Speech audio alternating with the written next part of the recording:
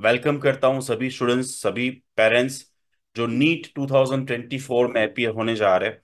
और आप सभी इस वर्कशॉप में जुड़े उन सभी का मैं जो है वो तहे दिल से स्वागत करता हूँ। इस वर्कशॉप में सब, हम बात क्या क्या करेंगे, क्या डिस्कस करेंगे तो सबसे पहले जो है वो हम बात करेंगे most important topics and chapters NEET exam के लिए कौन कौन सी है, वो हम बात करेंगे। सेकेंड जो है we will discuss about thirty days में कौन सी ट्रिप्स और ट्रिक्स यूज़ करें कि 600 प्लस मार्क्स ले पाया या 700 प्लस? स्टूडेंट्स लाइफ की प्रॉब्लम्स क्या होती है और उसके सॉल्यूशंस क्या? यानी कि इस दरमियान आपके कौन कौन से प्रॉब्लम्स आ सकते हैं, आ रहे हैं और उसके सॉल्यूशन क्या हो सकते हैं वो मैं आप सभी के साथ शेयर करूँगा। एमसीक्यूज कैसे सॉल्व करने हैं, उसके बारे में मैं आप सभी के साथ बातचीत करूँगा। स्ट्रेटेजी, तीन घंटे की जो एग्ज़ाम होने वाली है, तीन घंटे बीस मिनट, दो सौ minute one eighty MCQs seven twenty marks की आपकी सात मई को। उसमें कौन सी आप स्ट्रेटेजी यूज़ करें कि आप जो मार्क्स आने वाले हो, उससे हंड्रेड प्लस मार्क्स ला पाओ। नेक्स्ट बात करते हैं रोल एंड रिस्पॉन्सिबिलिटी यानी कि पेरेंट्स को भी क्या करना है और क्या नहीं करना है, वो भी बात करेंगे। तो ये सारे टॉपिक्स मैं नेक्स्ट टू आवर्स में जो है वो कवर करने जा रहा हूँ। अगर आप रियली एक्साइटेड है to know to gain to learn to understand all the things जो मैंने बताया, ये सारी चीज़ें समझने के लिए, जानने के लिए रेडी है। तो आप एक्साइट का ई लिखिए ग्रुप में, ताकि मैं आगे बढ़ू। Really great thank you very much for the reply and response Mitali, Rajesh इतने ज़्यादा लोग हैं कि मैं फटाफट रिप्लाई कर Haitvi, Nilofar, Muskan, Mayur thank you very much so let's start सबसे पहले चीज़ आपको जो समझनी है, मुझे बतानी वो ये है कि आपने नीट एग्ज़ाम देने जा रहे thirty five days thirty days for example है आपके पास। सेवंथ मई को एग्ज़ाम देंगे, तीन घंटे की एग्ज़ाम होगी वन एट्टी एमसीक्यूज हो गए सेवन ट्वेंटी मार्क्स लेकिन इसके पीछे आपने जो मेहनत की है, वो है दो साल। दो साल ऑलरेडी कुछ ना कुछ तो किया है। कोई ना कोई क्लासेस गए हैं प्रैक्टिकल एग्ज़ाम दिए थियोरटिकल एग्ज़ाम दिए बोर्ड एग्ज़ाम दिए इंटरमीडिएट एग्ज़ाम दिए स्कूल की एग्ज़ाम दी है ट्यूशन की एग्ज़ाम दी है ऑनलाइन एग्ज़ाम दिए मोक, बहुत कुछ कर लिया है सफिशियंट कर लिया है। लेकिन इज़ इक्वल टू अभी का जो एक महीना है, वो उसके इक्वल है। यानी उसमें कोई गलती नहीं होनी चाहिए। और इज़ इक्वल टू थ्री यानी कि वो एग्ज़ाम के तीन घंटे। देखिए, पंद्रह साल के अंदर जो जो लोग मेरे पास काउंसलिंग में आते हैं लास्ट पाँच साल में जो जो लोग आए हैं, उन्होंने मुझे ये एक सिंपल चीज़ बोली कि, सर, पता नहीं क्या हो गया? बच्ची या मेरा बेटा या मेरी बेटी या फिर स्टूडेंट जो आते थे वो बताते थे कि sir seven hundred six hundred marks मेरे जो है गुजराती नहीं बोलूंगा क्योंकि गुजराती सबको आती है और हिंदी हिंदी बोल रहा हूं ना और आप अब मैं स्टार्टिंग में बता चुका हूं कि हिंदी में क्यों बोल रहा हूँ હું ગુજરાતી છું પણ વચ્ચે વચ્ચે થોડું ગુજરાતી બોલીશ પણ હિન્દી બધા સમજી શકશે એમાં કોઈ પ્રોબ્લેમ છે જ નહીં सो so, दो साल में जो हम मेहनत करते हैं यानी कि जो स्टूडेंट्स आते हैं वो कहते हैं कि सर पता नहीं क्या मिस्टेक हुई क्या प्रॉब्लम हुआ अभी तक मेरे जो मॉक टेस्ट में दे रहा था, उसमें 600 मार्क्स आ रहे थे, साढ़े छह सौ आ रहे थे 700 आ रहे थे, किसी के 720 आ रहे थे। लेकिन पता नहीं क्या हो गया लास्ट मंथ में क्या हुआ पता नहीं, जो एग्ज़ाम था उसमें क्या हुआ पता नहीं। एंड होता ही है कि बिकॉज़ ऑफ़ दैट रीजन उनके मार्क्स बहुत कम आ गए। आपने भी अगर ऐसा सुना है तो लिखिए कि ऐसी चीज़ क्या होती होगी, क्या मिस्टेक होती होगी लास्ट मंथ के अंदर कि मार्क्स कम होने लगते हैं। या एग्ज़ाम का जो रिज़ल्ट आया वो कम आ गया। दो साल, यानी दो साल में जितनी भी एग्ज़ाम दी, जितनी मोक टेस्ट दी 180 की दी 720 मार्क्स की दी, सब में बहुत अच्छे मार्क्स थे। लेकिन कुछ ना कुछ गड़बड़ होती है। मेजोरिटी स्टूडेंट्स की जो एक महीने की प्लानिंग होती है उसमें, तीन घंटे की जो एग्ज़ाम होती है उसमें, और उसकी वजह से काफ़ी स्टूडेंट्स और पेरेंट्स को ये फेस करना पड़ता है। अगर आपने ये सुना है, ऐसा कुछ भी सुना है तो आप एग्री का ए लिख दीजिए चैट बॉक्स में। कि यस एग्री का जो है वो ए लिख दीजिए कि ये प्रॉब्लम्स होती है। तो कहने का जो मतलब है, बहुत इंपॉर्टेंट होता है और वो मैं समझाऊँगा आपको नेक्स्ट स्लाइड से कि देखिए क्रिकेट में 20 ओवर की मैच है 50 की है 10 की है या जो भी है है ना? उसमें छह बॉल होते हैं। लेकिन जो लास्ट मैच लास्ट ओवर होती है ना, छह बॉल होते हैं, वो बहुत इंपॉर्टेंट रोल प्ले करते हैं। वैसे ही फॉर एग्ज़ाम्पल आप एक रेस में दौड़ रहे हैं, जिसमें 25 लाख भारत देश के स्टूडेंट्स अटेंड करने वाले ये एग्ज़ाम गुजरात के approximately one lakh seventy thousand और इस एग्ज़ाम में लास्ट मोमेंट पे आपको आप ही बता दीजिए कि जो ये एक महीना बचा है, वहाँ पे आपकी स्पीड बढ़नी चाहिए या कम होनी चाहिए, हर चीज़ में।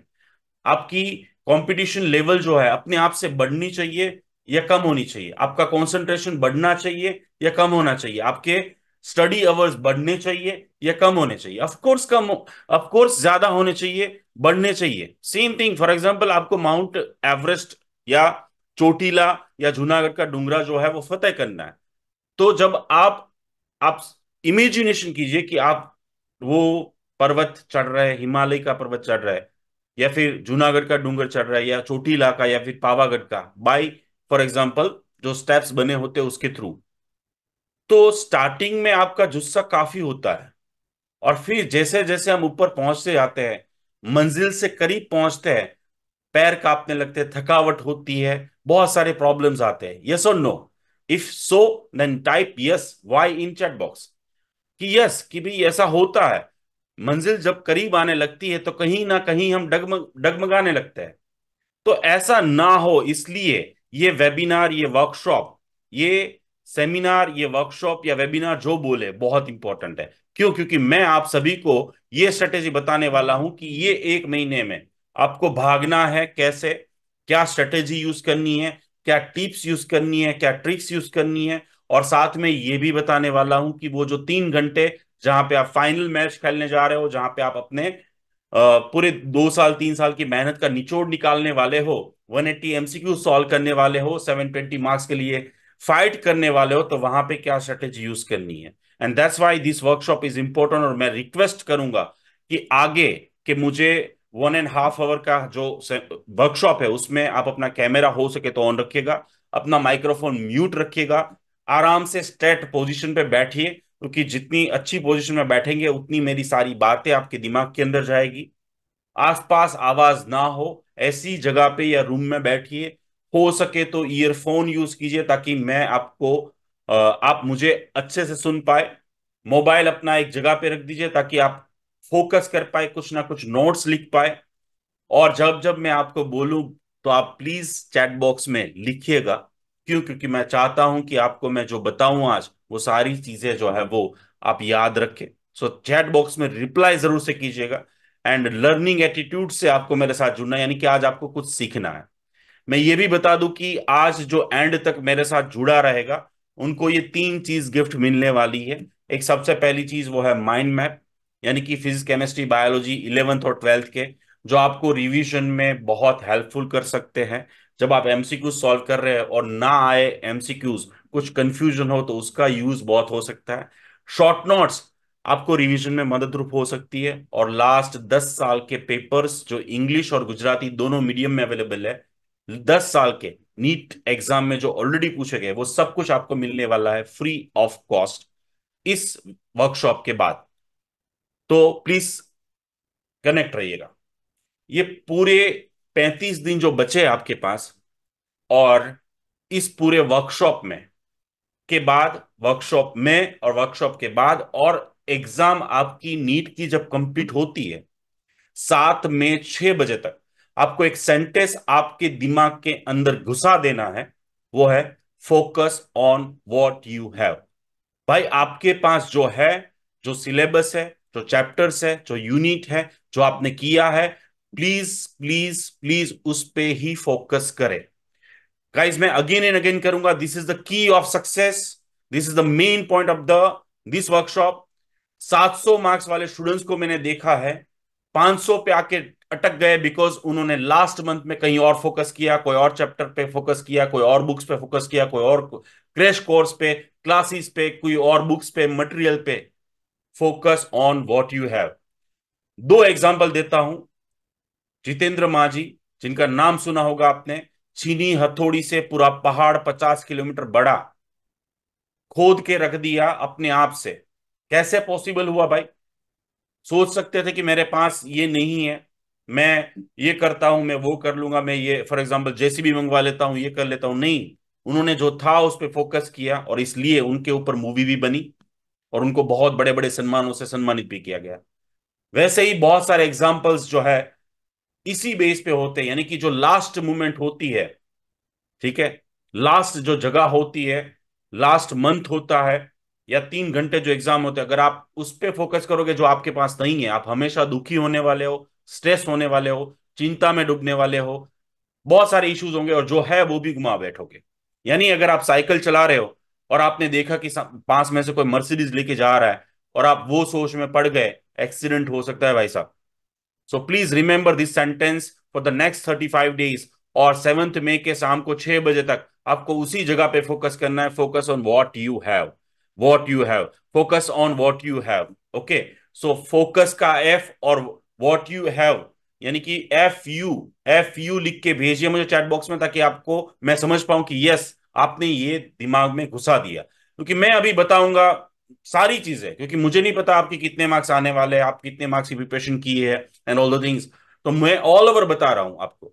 और हो सकता है कि आप जो है उसको जो आपके पास नहीं है, उसके ऊपर फोकस करने लगे।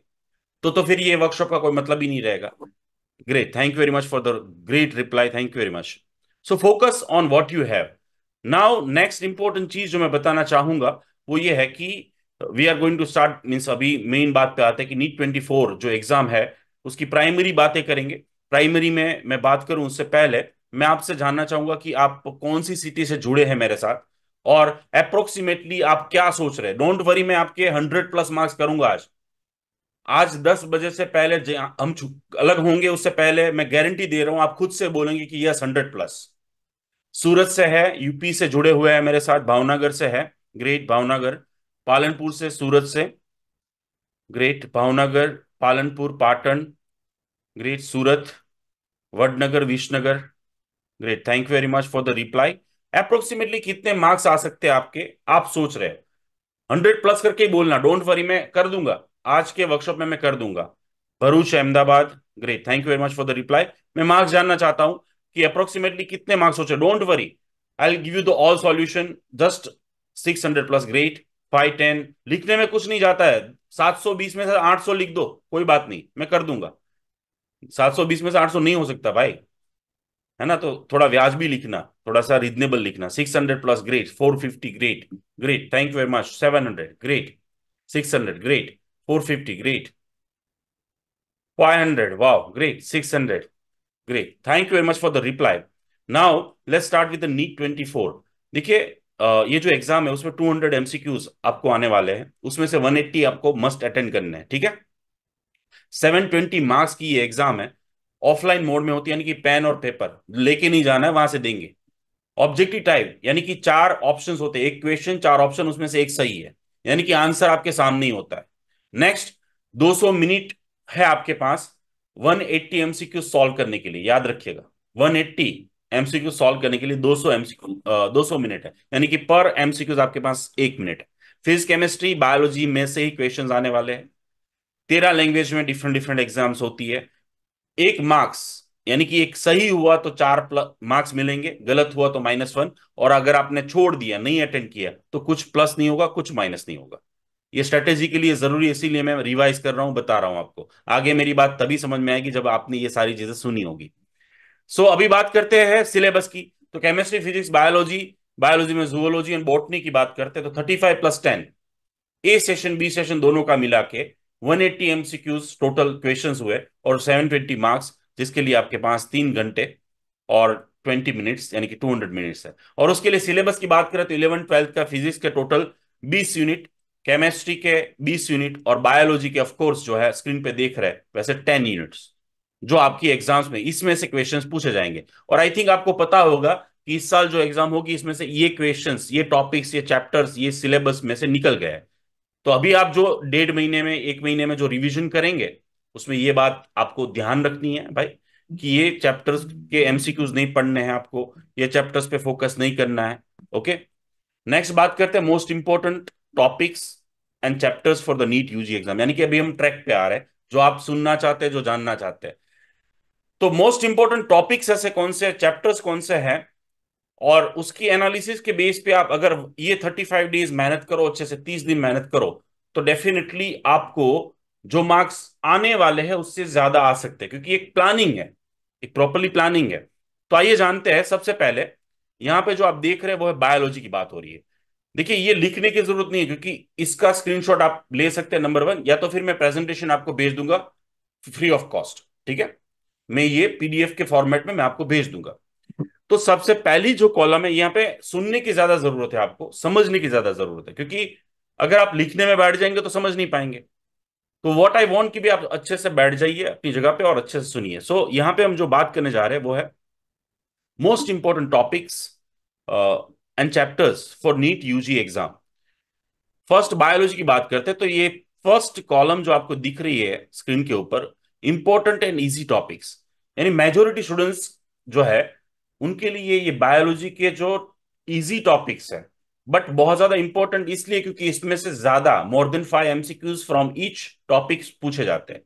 अगर आपने बायोलॉजी के इतने टॉपिक्स कर लिए तो बायोलॉजी के जो आपके सिलेबस है, यानी कि जो स्कोर है वो हाई हो जाएगा।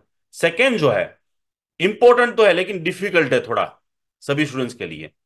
वो टॉपिक्स है जो यहाँ पे लिखे गए। Less important but easy less important यानी कि कम पूछा जाता है question number of question in topic में से। और लेस इंपॉर्टेंट एंड डिफ़िकल्ट तो इससे क्या होता है कि आपको ये डेढ़ महीने की स्ट्रेटेजी बनाने में हेल्पफुल होगा सब, कि किस तरीके से आपको कहाँ पे ज़्यादा फोकस करना है कहाँ पे कम फोकस करना है कहाँ पे टाइम ज़्यादा इन्वेस्ट करना है कहाँ पे कम टाइम इन्वेस्ट करना है। वैसे ही हम आगे बढ़ते हैं और जानते हैं केमिस्ट्री तो केमिस्ट्री में इंपॉर्टेंट एंड इजी टॉपिक यानी कि जिसमें से क्वेश्चंस ज़्यादा पूछे जाते हैं और वो है चैप्टर्स इजी तो वो कौन से जो फ़र्स्ट कॉलम में देख रहे हैं? क्वेश्चंस तो ज़्यादा पूछे जाते हैं लेकिन द प्रॉब्लम इज़ दैट कि उसमें क्वेश्चन तो ज़्यादा पूछे जाते हैं, लेकिन प्रॉब्लम यह है, उसमें से वो है difficult less important but easy and less important difficult तो यहाँ से आपको पूरी स्ट्रेटेजी प्लानिंग करने में थर्टी फाइव डेज़ प्लानिंग करने में हेल्पफुल होगा। पता चलेगा कि भाई इंपॉर्टेंट एंड ईजी वाले हैं, वो पहले कंप्लीट करो, क्योंकि वहाँ से ज़्यादा स्कोर आपका है, वो ले लेंगे। डिफ़िकल्ट वाले हैं, उसको थोड़ा सा बाद में। That's what the you can decide same physics all over subjects most of the students के लिए फिजिक्स डिफ़िकल्ट होता है। लेकिन अगर आज जो मैं स्ट्रेटेजी बताऊँगा, जो आगे बताऊँगा कि चैप्टर वाइज कौन, कितने क्वेश्चन पूछे गए तो उसके बेस पे पता चल जाएगा आपको कि yes you can decide you can find out your यानी कि आपके पास जो है focus on what you have तो उसमें से ही फॉर एग्ज़ाम्पल आप 600 के स्टूडेंट हो तो आप अपने पहले 600 जो है उसको खींच लो। उसका रिवीजन डेढ़ महीने में जो ये एक महीना है, उसमें कर लो। तो फिजिक्स के इंपॉर्टेंट एंड इजी टॉपिक्स आप देख रहे हैं। लेस इंपॉर्टेंट ये वाली जो कॉलम है, वो है। इंपॉर्टेंट बट थोड़ा सा डिफ़िकल्ट है। लेस इंपॉर्टेंट एंड डिफ़िकल्ट तो of course less important difficult पे ज़्यादा फोकस करने की ज़रूरत नहीं है। अगर आप 600 प्लस तक पहुँचना चाहते हो तो ये फ़र्स्ट थ्री कॉलम ही आपने कर ली तो बहुत इंपॉर्टेंट हो जाएगा। बहुत बहुत अच्छा हो जाएगा। नेक्स्ट बात करते हैं कि इन तीनों का समअप करे। तो ये तीनों की अगर ये चैप्टर्स गिनो आप तो ये जो आपके सामने चार्ट है ना वो आपको 500 प्लस मार्क्स दे सकता है। सिर्फ़ इतने ही चैप्टर्स इतने ही टॉपिक्स अगर आप फिजिक्स केमिस्ट्री बायोलॉजी के कर लो। क्योंकि हाई स्कोरिंग जिसमें से ज़्यादातर फ्रिक्वेंटली क्वेश्चन पूछे जाते हैं ज़्यादा क्वेश्चन पूछे जाते हैं इसी टॉपिक्स में से। तो अगर आप इंपॉर्टेंट चैप्टर्स ये मोस्ट टाइम भी अगर आप कहते कह, कह सकते हो दूसरे शब्दों में तो ये तीनों कॉलम के आप अच्छे से जो है वो सेट कर दो। तो आपको लगता है, आप आप आप ही प्लीज़ बताइए कि ये जो तीनों कॉलम में जो स्टूडेंट है वो बताए, जो चैप्टर्स टॉपिक्स लिखे हैं, वो रिवाइज करने में एक्चुअल में आपको क्या लगता है कि कितना दिन लगेगा? कितना दिन? कितना टाइम लग सकता है? Please comment in box chat box में बताइए मुझे। कितना टाइम लग सकता है एज पर यू ये सभी चीज़ें रिवाइज करने में, जो इजी भी है बट इंपॉर्टेंट है। Yes great thank you very much for the reply thank you very much देखिए, अगर आपने अच्छे से पढ़ाई की हुई है तो not more than ten days अगर आपने एक भी बार पढ़ा हुआ है तो not more than ten days और मैं आपको शॉर्ट नोट्स भी भेज रहा हूँ, और रिवीजन वाली चीज़ें भी भेज रहा हूँ, और माइंड मैप भी भेज रहा हूँ. आपको स्ट्रेटेजी भी बताने वाला हूँ आगे और डिटेल में, और डिटेल में ले जाने वाला हूँ. ठीक है? तो around ten to fifteen days में डेफिनेटली आप ये सारे यानी कि high scoring more than five hundred plus marks cover कर सकते हो। डेफिनेटली कर सकते हो। और उसकी स्ट्रेटेजी भी बताने वाला हूँ। आगे बात करते हैं। नेक्स्ट है, एक यहाँ पे जो देख रहे हैं, वो है important chapters for NEET botany के इलेवेंथ क्लास में से यहाँ पे लिखे हुए वो टॉपिक्स और चैप्टर्स लिखे हैं। उसमें से कितने क्वेश्चंस पूछे गए हैं? ऑन एन एवरेज लास्ट चार साल की एवरेज है ये। ठीक है? और उसमें से कितने मार्क्स आपको मिल सकते हैं और उसका वेटेज कितना है? This is the vast most IMP तो भाई देखो, आप जो है, यहाँ से ये भी पता कर सकते हो कि ये फिफ्टीन डेज़ में कहाँ फोकस करना है। चाहे आपने सब कुछ पढ़ लिया हो फिफ्टी परसेंट ही पढ़ा हो सिक्सटी सेवेंटी डजेंट मैटर तो जो हाई स्कोर वाला है, वो चैप्टर्स वो टॉपिक्स अगर आपका कप ऑफ़ टी हो तो डेफिनेटली उसको आप आगे सिलेबस में बताऊँगा कि कैसे वीकली शेड्यूल करना है, कैसे डेली उसमें सेट कर दो और जुड़ते जाओ जुड़ते जाओ जुड़ते जाओ सेवन ट्वेंटी में से फाइव हंड्रेड सिक्स हंड्रेड या जो आपका टारगेट है, वहाँ तक आप डेफिनेटली पहुँच सकते हो in this one month so ये इलेवंथ की बात है, जो आप देख रहे हो। प्लांट फिजियोलॉजी में से फॉर एग्जांपल इलेवंथ के सिलेबस में से बात हो रही है बॉटनी की। Eight questions on an average पूछे गए हर साल। और उसमें से अगर देखा जाए तो मार्क्स बत्तीस, यानी कि बत्तीस मार्क्स तो आपने अपने पॉकेट में रख लिए, सिर्फ़ एक ही चैप्टर टॉपिक पढ़ के। तो वैसे ही हाई स्कोरिंग टॉपिक और चैप्टर इलेवंथ वाले ले लो। फिर उसके बाद बॉटनी के सेम ट्वेल्थ वाले देखो, सबसे पहले जेनेटिक और रिवोल्यूशन दस। ऐसे पाँच क्वेश्चन तो आप अभी मुझे बोल दोगे जो जेनेटिक्स के रिपीटेडली पूछे जाते। हैं तो वो चालीस मार्क्स ले लिए, और यहाँ से फॉर एग्ज़ाम्पल बत्तीस मार्क्स कितने सेवेंटी जितने मार्क्स आ गए आपके पॉकेट में। अगर आप नीचे टोटल देखोगे तो देखिए बॉटनी में इलेवंथ और ट्वेल्थ का, देखिए तो ऑलमोस्ट बॉटनी वाला जो पार्ट है, इलेवंथ और ट्वेल्थ का सेम है। यानी सारे चैप्टर्स को प्रॉपरली आपको डिवाइड करना है। स्मार्टनेस यूज़ करनी है, दिमाग यूज़ करना है, कि हाई स्कोरिंग चैप्टर्स साइड में ना रह जाए। और वो टाइम टेबल भी बना के दे रहा हूँ, पूरा चार वीक का। और उसमें जो सेट किया है, वैसे आप अपना खुद का भी बना सकते हैं अलग से। तो that's why this weightage is important कितने क्वेश्चंस पूछे गए और कितने मार्क्स आप अपने पॉकेट में बटोर रहे हैं। इस एक महीने की प्रिपरेशन में, वो मैं बताया बोटनी का। अब जूलॉजी का देखो।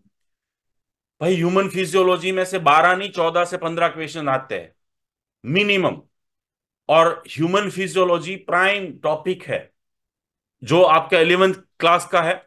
नेक्स्ट जूलॉजी में जाए ट्वेल्थ का ट्वेल्थ का जो है क्लास ट्वेल्थ का तो उसमें देखिए आप सबसे ज़्यादा क्वेश्चंस किसमें से पूछे जाते हैं? तो सबसे ज़्यादा क्वेश्चन जो है वो बायोलॉजी ह्यूमन वेलफेयर में से, आठ क्वेश्चन ऑन एन एवरेज इससे ज़्यादा भी आ सकते हैं, इससे थोड़े कम भी, एक दो एक दो माइनस प्लस माइनस होंगे, लेकिन ज़्यादा नहीं होंगे। और इस वे में आप वेटेज डिसाइड कर लो। नेक्स्ट केमिस्ट्री की बात करें तो इलेवंथ और ट्वेल्थ ऑर्गेनिक केमिस्ट्री जो आप देख रहे हैं तो ऑर्गेनिक केमिस्ट्री में इलेवंथ और ट्वेल्थ का अगर आपको कोई फॉर एग्ज़ाम्पल गाइज़ मैं सिंपली यहाँ पे एक बार और कहना चाहता हूँ कि आप में से कुछ स्टूडेंट्स ऐसे होंगे जिनको फॉर एग्ज़ाम्पल एरोमेटिक कंपाउंड्स अच्छे नहीं लगते तो भाई छोड़ दो। फॉर एग्ज़ाम्पल पॉलीमर्स अच्छे नहीं लगते तो छोड़ दो, कोई बात नहीं। आपको यहाँ पे कैलकुलेशन करना है। यानी दैट्स वाई मैंने बताया कि focus on what you have अगर आपके पास नाइक के अच्छे शूज़ नहीं तो इसका मतलब ये नहीं कि आप दौड़ नहीं सकते। अगर आपके पास एक चैप्टर नहीं है, दो टॉपिक्स नहीं है, कोई चीज़ नहीं है तो इसका मतलब ये नहीं कि आप स्कोर नहीं कर सकते।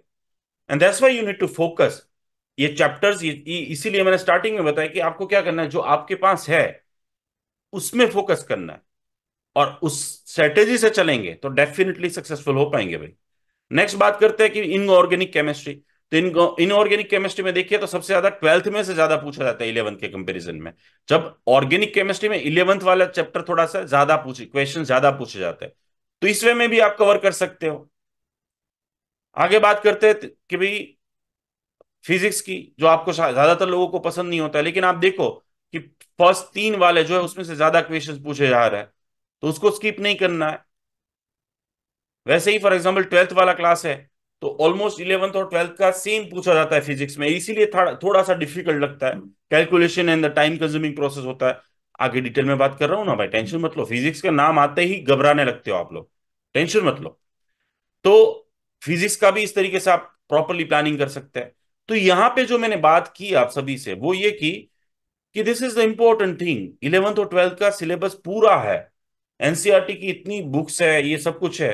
हो सकता है कि उसका 80 परसेंट आपका है तो 80 परसेंट में से focus on what you have और उठा लो और सेट कर लो उसको। अब आप बोलेंगे कि, सर, कैसे हम 30 डेज़ 35 डेज़ जो ये बच्चे हैं, उसमें कैसे ये सारा रिवाइज करे? तो अगेन मैं ये कहूँगा जो आपको है उसको मैं जो बताने जा रहा हूँ उसमें सेट करना है। ठीक है? कैसे रिवाइज कर सकते हैं? इजीली सारी चीज़ें रिवाइज हो सकती है विथ एमसीक्यूज पूरा टाइम टेबल थर्टी डेज़ का और एवरी डे का क्या टाइम टेबल होना चाहना? होने, होना चाहिए आपका। वो भी बताने जा रहा हूँ। लेकिन मैं उसके लिए चाहता हूँ कि आप अगर वैल्यूबल समझ रही है इंफॉर्मेशन को तो type we in chat box यानी कि thirty days, thirty five days में इन सभी को कैसे डिवाइड करना और क्या पढ़ना कैसे पढ़ना है? और एवरी डे का कितने आवर्स का कैसे टाइम टेबल होना चाहिए सुबह उठने से लेकर रात को शाम तक? Great thank you very much for the reply every one thank you very much तो देखिए वीक नंबर वन जो फॉर एग्ज़ाम्पल कल या परसों से स्टार्ट करो सो फॉर एग्ज़ाम्पल तो सबसे पहले start your study from the difficult subjects ठीक है? तो डिफ़िकल्ट मोस्टली सभी का फिजिक्स होता है। तो सुबह उठते ही फिजिक्स से स्टार्ट करो, फिर इसके बाद केमिस्ट्री और फिर इसके बाद बायोलॉजी और यहाँ पे सारे टॉपिक्स लिखे हुए हैं। तो फ़र्स्ट सिक्स डेज़ जो आपको दिख रहे हैं स्क्रीन के ऊपर, उस सिक्स डेज़ में आप ये देखेंगे तो nearby 350 marks to 400 marks cover कर रहे हैं इन सभी टॉपिक्स से। एक ही वीक में 400 तक पहुँच सकते हो। ये जो प्लानिंग दिखा गया उस टॉपिक्स को आपको कंप्लीट करने in one day then second day then third day then fourth day then fifth and six seven day जो टॉपिक्स आपने पढ़ लिए, छह लास्ट सिक्स डेज़ में, वो सातवें दिन आपको उसकी मॉक टेस्ट देनी है। मैं आपको यहाँ पे एक छोटा सा एग्ज़ाम्पल भी दे दूँ कि जो आगे हम बात करेंगे, सुबह से लेकर शाम तक का टाइम क्या टाइम टेबल होगा, उसमें मैंने एक अलग से स्लॉट रखा है कि एवरी डे सुबह उठते ही रात के जो भी टाइम तक आप पढ़ो तो उसमें क्या करना है आपको डिफ़िकल्ट सब्जेक्ट से स्टार्ट करना है, ठीक है? नंबर वन नंबर टू आपको ये करना है कि डिफ़िकल्ट सब्जेक्ट के बाद एक सब्जेक्ट जैसे ही कंप्लीट होता है, जैसे फिजिक्स के यहाँ पे जो लिखे हुए हैं, वो पाँच टॉपिक आपने कंप्लीट किए उस पाँच टॉपिक के आपको मिनिमम पंद्रह से बीस MCQs each and every topic के करने ही करने फिर उसके बाद केमिस्ट्री किया। केमिस्ट्री के जो टॉपिक है, फटाफट रिविजन करना है। देखो, पढ़ा हुआ है। आपको कंसेप्ट याद करना है। अब पढ़ाई कैसे करनी है? आर डब्ल्यू डी मेथड पहले रीड करो। फिर उसके बाद फटाफट उसकी नोट्स जो लिखी है, उसको क्रॉस वेरीफाई करो या फटाफट नोट्स बनाओ रफ नोट्स और डिस्कस करो अपने आप से। पूछो बार बार वही क्वेश्चन एक दो बार पूछो। और जो चीज़ फॉर एग्ज़ाम्पल कंफ्यूजन वाली लग रही है, जो आपको नहीं समझ में आ रही है उसको दीवार पे चिपका दो। मैं शॉर्ट नोट्स भेज रहा हूँ माइंड मैप भेज रहा हूँ। माइंड मैप जो है वो यूजफुल होगा, क्योंकि एक पूरा चैप्टर एक पेज पे आ जाएगा। जो आपको पर डे रात को सोने से पहले रिविजन में हेल्पफुल होगा। तो इस मेथड में, यानी कि इस तरीके से आपको पढ़ाई करनी है theory plus MCQs theory plus MCQs theory plus MCQs और छह दिन के बाद, सातवां दिन, ये सब कुछ रिवाइज करना है शॉर्ट नोट्स में से नंबर वन और एक पूरी 180 की एमसी एमसीक्यूज की इसी टॉपिक में से निकाल के एग्ज़ाम देनी है। याद रखिएगा, ये वीक नंबर वन की बात होगी। अब नंबर वीक नंबर टू यानी कि दूसरा वीक यानी कि सेवन डेज़ के बाद की बात कर रहे हैं, आठ दिन के बाद की बात कर रहे हैं। तो यहाँ पे फिजिक्स में कौन से चैप्टर्स पढ़ने केमिस्ट्री के कौन से, और इस सीक्वेंस को मैंने इस वे में रखा हुआ है कि जहाँ पे पहले हाई स्कोरिंग है इजी है chapters topics plus high scoring है। प्लस कुछ डिफ़िकल्ट वाले हैं, लेकिन वो हाई स्कोरिंग है। तो उससे क्या होगा कि आप अगर सेकेंड वीक तक पहुँच गए तो 500 प्लस तक पहुँच जाएँगे। और यहाँ पे एक रिवीजन का स्लोट लगाया हुआ देखिए फोर्थ कॉलम वो रिवीजन का स्लोट ये है कि आपको क्या करना है पीछे जो लास्ट वीक में पढ़े उसको भी फटाफट रिवीजन करने एक से दो घंटे में, सारे चैप्टर्स अगर आपको ये सारी चीज़ें समझ में आ रही है तो यस गेन गेन का झील लिख के भेजिए भाई चैट बॉक्स में, क्योंकि मैं चाहता हूँ कि सब समझ में आ रहा हो। So this is the second week thank you very much great great for the reply thank you thank you so second week जो है, वो सेकेंड वीक में क्या करना है आपको कि अगेन डिफ़िकल्ट सब्जेक्ट्स फिर देन केमिस्ट्री देन बायोलॉजी हो सकता है कि किसी का केमिस्ट्री डिफ़िकल्ट हो तो आप उसको पहले से डाल दीजिए। उस वे में टाइम टेबल पूरा बनाइए। नाउ इवन सिक्स डे यानी कि तेरह दिन के बाद जो चौदवा दिन आएगा फोर्टीन डे वहाँ पे अगेन आपको क्या करना है, जो पिछले वाले छह दिन के चैप्टर्स टॉपिक्स थे, ये छह दिन के चैप्टर्स और टॉपिक और उसका आप वन एट्टी एमसीक्यूज का टेस्ट देंगे। देन थर्ड वीक तो थर्ड वीक में जो है वो चैप्टर्स मैंने मैंने क्या किया कि पूरा इलेवन ट्वेल्थ सिलेबस डाल दिया है। लेकिन अगेन मैं ये कहूँगा कि focus on what you have जो आपके पास है, उस पर ही रिविजन कीजिएगा। अगर आपको फॉर एग्जांपल 600 प्लस मार्क्स आ गए तो आपकी सीट एमबीबीएस की फिक्स है भाई। 650 आ गए तो बहुत अच्छी बात है। ऑल इंडिया लेवल पे आ जाओगे। 700 आ गए तो 100 percent final all India level तो यहाँ पे थोड़ी स्ट्रेटेजी से चलना है। ये ना हो कि 600 की आने छोड़ दो साइड में और फोकस रहे आपके वन ट्वेंटी कैसे बढ़े। वन ट्वेंटी कैसे आए और इस वजह से आपके सिक्स हंड्रेड जो आपके आने वाले थे, वो भी ना आए। थर्ड डे अगेन सारे डिवाइड किए गए छह दिन में। अगेन रिवीजन है पिछले वाले वीक का। और जो सेवेंथ डे आप 180 की एमसीक्यू टेस्ट देंगे, तीनों वीक का सभी टॉपिक्स और चैप्टर्स के एमसीक्यूज होने चाहिए। ताकि बार बार, देखो, आपका तीन तीन बार रिवीजन हो रहा है। तीन तीन बार रिवीजन हो रहा है। दैट्स इंपॉर्टेंट और the fourth the most important जिसमें highly scoring topics and chapters है सिर्फ़ और सिर्फ़ वही टॉपिक्स आप रिवाइज करेंगे और उसके एमसीक्यूज देंगे। और लास्ट लास्ट वीक में मिनिमम दो से तीन आपको 180 एट्टी एमसीक्यूज की टेस्ट देनी चाहिए। This is the what four week time table ये चार वीक आपके पास है, उससे ज़्यादा टाइमिंग है। तो याद रखिएगा कि आपको इसी वे में जाना है। सिंपली मॉडिफिकेशन बताऊँ मैं सिंपली अगर रिवाइज करूँ तो यह है कि आपको क्या करना है फ़र्स्ट वीक में जो हाईली इंपॉर्टेंट और इजी टॉपिक्स है, उसको लो। सेकेंड वीक में आपको जो है डिफ़िकल्ट है, लेकिन इंपॉर्टेंट है, उसको भी साथ में ऐड कर दो। थर्ड वीक में इजी एंड लेस इंपॉर्टेंट वाले, और फोर्थ यानी कि मिक्सिंग में जो है वो difficult but easy sorry easy less important but difficult है, वो वाले चैप्टर्स लेंगे साथ में एवरी वीक के एंड में, यानी कि सेवन डे पे आप 180 एट्टी एमसीक्यूज का मॉक टेस्ट देंगे। डेली आपको जो लास्ट रिवीजन किया लास्ट डे पे जो काम किया है, उसका रिवीजन करेंगे। And this is the method जिसकी वजह से आपको तीन से चार बार एक ही टॉपिक रिवाइज हो रहा है और इस वजह से आप हाई स्कोर कर पाएँगे। नाउ क्वेश्चन इज़ दैट कि मिनिमम कितने घंटे हम ये पैंतीस दिन में स्टडी करें? देखिए गाइस मुझे नहीं पता आपकी कैपेसिटी क्या है।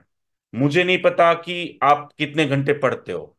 मुझे नहीं पता कितने घंटे की क्या है सारी situation thing is that less than ten hours will not work अगर आप चौके पे छक्का लगाना चाहते हो लास्ट मीनिंग पे जीतना चाहते हो तो दस घंटे तो मिनिमम पढ़ाई करनी ही पड़ेगी और पैंतीस दिन ही करनी आपकी आपकी ज़िंदगी सुधर जाएगी भाई। आपका फ्यूचर बन जाएगा। आप पता नहीं क्या से क्या कर दोगे। गलतियाँ की है भाई मैंने, इसलिए फ्री में चिल्ला रहा हूँ। मैं चिल्ला रहा हूँ, मैं बोल रहा हूँ, बता रहा हूँ ये सारी चीज़ें लास्ट इतने सालों से। और दैट्स व्हाट माय मिस्टेक और हज़ारों स्टूडेंट्स की मिस्टेक होती है कि लास्ट मंथ में जहाँ पे स्पीड बढ़ानी चाहिए, चाहे आप 300 मार्क्स के स्टूडेंट्स क्यों ना हो, चाहे 250 मार्क्स के स्टूडेंट्स क्यों ना हो, चाहे 500 के क्यों ना हो 700 के क्यों ना हो 800 के क्यों ना हो फॉर एग्ज़ाम्पल आपको 10 घंटे मिनिमम मिनिमम पढ़ाई करनी है पर डे पढ़ाई करनी है रूम में बैठ के भाई मजदूरी करने थोड़ी जाना है.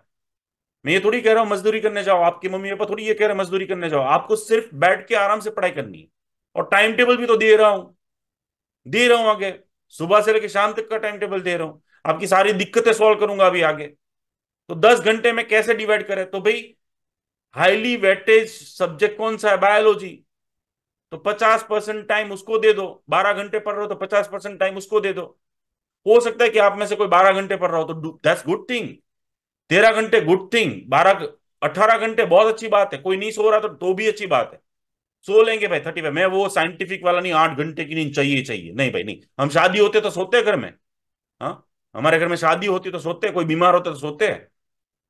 पैसे आने वाले हो तो सोते। हैं हमें पता है कि ये पाँच लाख रुपए देगा पेरेंट्स है लाइन में यहाँ पे जुड़े हुए। कि पता है कि भी ये काम करने से पाँच लाख रुपए मिलेंगे पूरी रात जगते हैं दस दिन तक जगते हैं पंद्रह दिन तक जगते हैं क्या फ़र्क पड़ता है? कोई बीमार बीमार नहीं होंगे, मैं आगे बताऊँगा कैसे बीमार नहीं होंगे।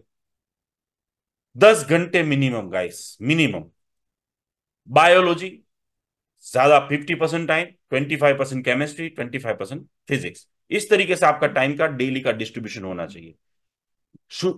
रूटीन क्या होना चाहिए? फॉर एग्ज़ाम्पल ये आपके ऊपर डिपेंड करता है। मैं ऐसा नहीं मानने वाला हूँ कि भी दिन में ही पढ़ना चाहिए, रात में नहीं पढ़ना चाहिए, सुबह अर्ली मॉर्निंग उठ के पढ़ना चाहिए या फिर कंफर्ट जोन आपका कौन सा है? उसमें पढ़ना। लेकिन लेकिन लेकिन लेकिन, ये थर्टी फाइव डेज़ ये थर्टी फाइव डेज़ ये थर्टी फाइव डेज़ सुबह, दोपहर के बारह बजे से रात को छह बजे, पाँच मिनट के लिए भी नहीं सोना है। बारह बजे से लेके रात के छह बजे तक पाँच मिनट भी नहीं सोना है। क्यों? क्योंकि आपकी बायोलॉजिकल क्लॉक सेट होनी चाहिए। आपका सेवेंथ में को जो एग्ज़ाम होगा, वो कब होगा? एक बजे आप हॉल में एंटर हो जाएँगे। पाँच बजकर बीस मिनट पे फ्री होंगे, यानी कि छह बजे तक बाहर आएँगे। तो अगर आपकी सोने की, खाने की रेस्ट करने की, बात करने की मोबाइल यूज़ करने की टीवी देखने की, आराम करने की, गप्पे मारने की रील देखने की सोशल मीडिया फलाना ढीकना वॉट अगर वो आदत है तो आप सेवन हंड्रेड के होंगे तो भी सिक्स हंड्रेड पे आ जाओगे। Don't do any kind of activities between twelve to six अपनी बॉडी को, अपने दिमाग को, अपने हाथ को, अपने पैर को, अपनी आँख को, अपने बाल को, अपने हर चीज़ को पता होना चाहिए। Twelve to six is a battle time भाई, युद्ध लड़ना है। चाहे 200 मार्क्स के स्टूडेंट्स क्यों ना हो भाई। आपको तैयारी करनी है। है ना? तैयारी करनी है। आप ये मत सोचो 300 है 200 आएँगे 500 आएँगे 400 आएँगे 600 आएँगे। Don't matter it doesn't matter अगर 700 वाले ने भी ये नहीं किया तो वो जाएगा डाउन अगर 300 वाले ने भी नहीं किया तो वो 200 पे जाएगा। तो ये तो रूल तो रूल है। 12 से 6 12 से 6 याद रखो, लिखो 12 से 6 in chat box you will not do anything except the study यानी आप सुबह उठ के पढ़ो तो मुझे कोई प्रॉब्लम नहीं है, ये टाइम टेबल फॉलो करना। रात को देर तक पढ़ना है, मुझे कोई प्रॉब्लम नहीं है कि बारह से छह सिर्फ़ और सिर्फ़ पढ़ाई। बारह से छह सिर्फ़ और सिर्फ़ पढ़ाई। ठीक है? तो इस टाइम टेबल को जनरली लेना है। जनरली यह है कि आपको पर डे तीन पर डे तीन सब्जेक्ट्स पढ़ने हैं। यानी कि सबसे पहले स्टार्ट करना है डिफ़िकल्ट सब्जेक्ट्स यानी कि फिजिक्स से। अगर वो डिफ़िकल्ट है, फिर केमिस्ट्री और फिर बायोलॉजी इससे फ़ायदा ये होगा डिफ़िकल्ट सब्जेक्ट्स का डर धीरे धीरे गायब होगा। आपका कॉन्फिडेंस लेवल बढ़ेगा। हो सकता है कि भी आप एक घंटे से ज़्यादा ना पढ़ पाओ तो कोई बात नहीं, फिर केमिस्ट्री ले लो, फिर उसके बाद बायोलॉजी ले लो। लेकिन एंड में बायोलॉजी रखने से फ़ायदा ये होगा कि आपको कॉन्सेंट्रेशन लेवल बढ़ेगा अवर्स ऑफ़ स्टडी आपकी बढ़ेगी, आपका स्टेमिना बढ़ेगा, आपको मन करेगा कि और थोड़ा सा पढ़ लू।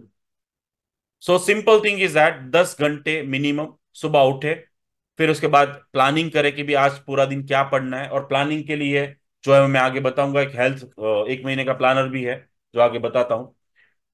Then first subjects theory MCQs theory MCQs theory MCQs यानी कि फिजिक्स तो उसकी थियरी पढ़नी है, फटाफट जो हमने टाइम टेबल सेट किया होता है, एक महीने का उसके बेस पे, उसके ही एमसीक्यू सॉल्व करने ताकि दो बार रिवाइज हो जाए।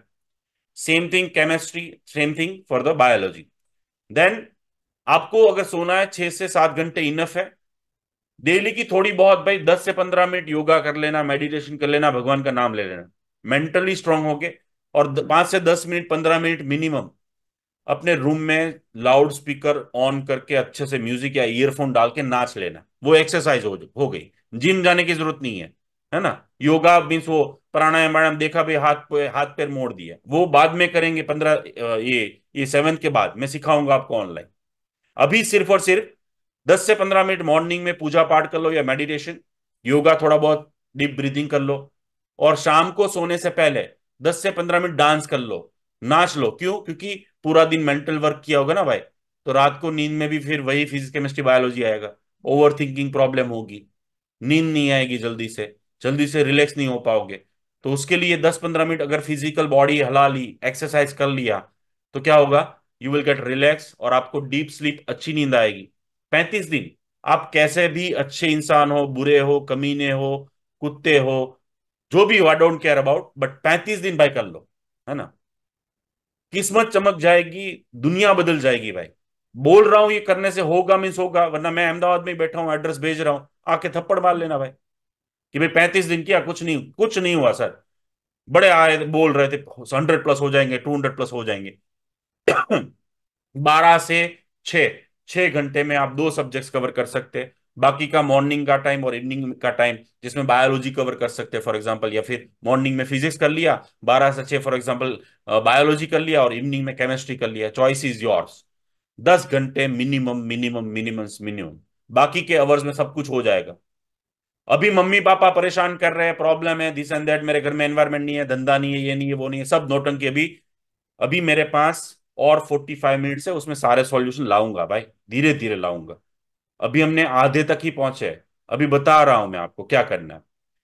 तो अभी नेक्स्ट टॉपिक आ रहा है स्टूडेंट्स लाइफ की प्रॉब्लम्स एंड सॉल्यूशन उसके सॉल्यूशन क्या हो सकते हैं। अगर आपको ये जानना है तो लिखो yes I want to know the problems और उसके सॉल्यूशन काफ़ी लोगों को प्रॉब्लम्स ही नहीं पता होती है तो सॉल्यूशन कहाँ से मिलेंगे? Great thank you very much for the reply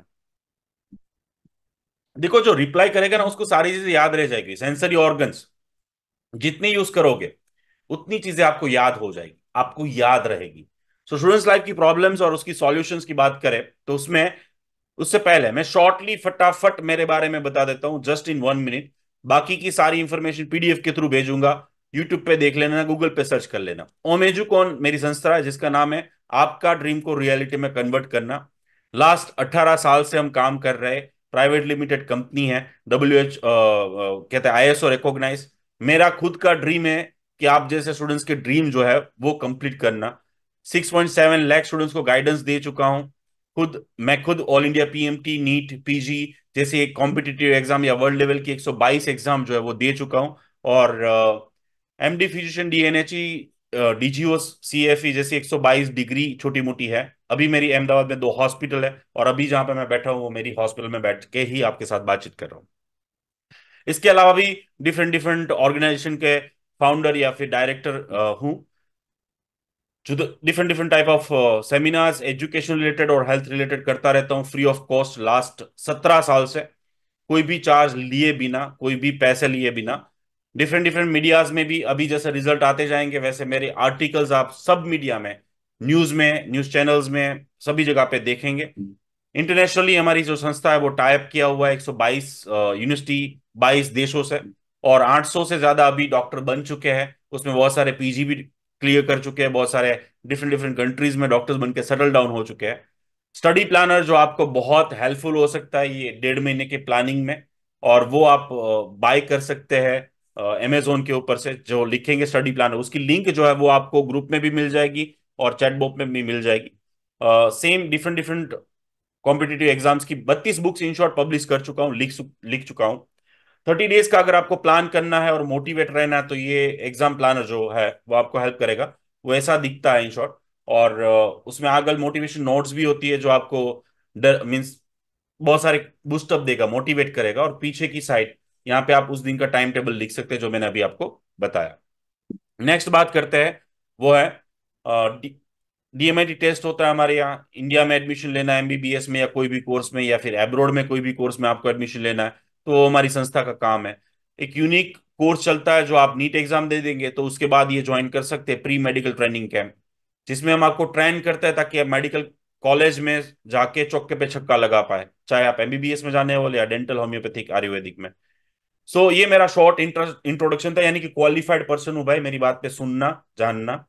बहुत सालों का एक्सपीरियंस ऐसे ही नहीं आ, आगे आपके सामने और बताने लगा।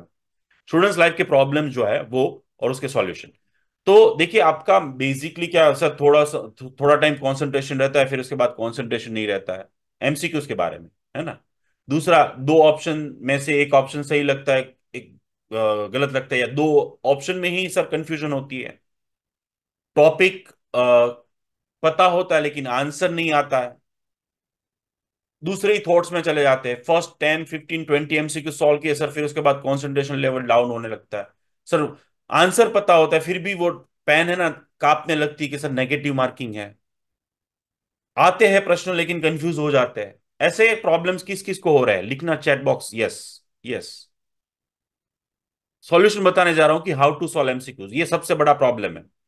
देखिए, दुनिया की सबसे, अगर आप देखा जाए तो इस easiest exam easiest exam the method exam easy है क्यों क्योंकि क्वेश्चन सामने और उसका आंसर भी सामने तो यहाँ पे जो एग्जामिनर होते हैं, वो क्वेश्चन इस तरीके से सेट करते हैं, उस तरीके से ऑप्शन सेट किए जाते हैं कि आप लोग ये गलतियाँ करें। तो आपको क्या करना है कि आपको एमसीक्यू सॉल्व करने की टेक्निक पता होनी चाहिए।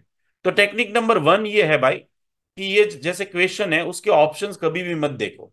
याद रखो टेक्निक नंबर वन ऑप्शंस कभी भी देखना नहीं है, उसके ऊपर हाथ रख दो। पैर रख दो, पत्थर रख दो। क्वेश्चंस को दो बार फटाफट पढ़ो। फटाफट पढ़ने के बाद सबसे पहली सोच दिमाग में ये डालो कि केमिस्ट्री फिजिक्स या बायोलॉजी का है। कौन से चैप्टर से है? कहाँ से पूछा गया है? वो पेज दिखने लगे, वो आंसर मुँह से निकले, फिर उसके बाद ऑप्शन देखो।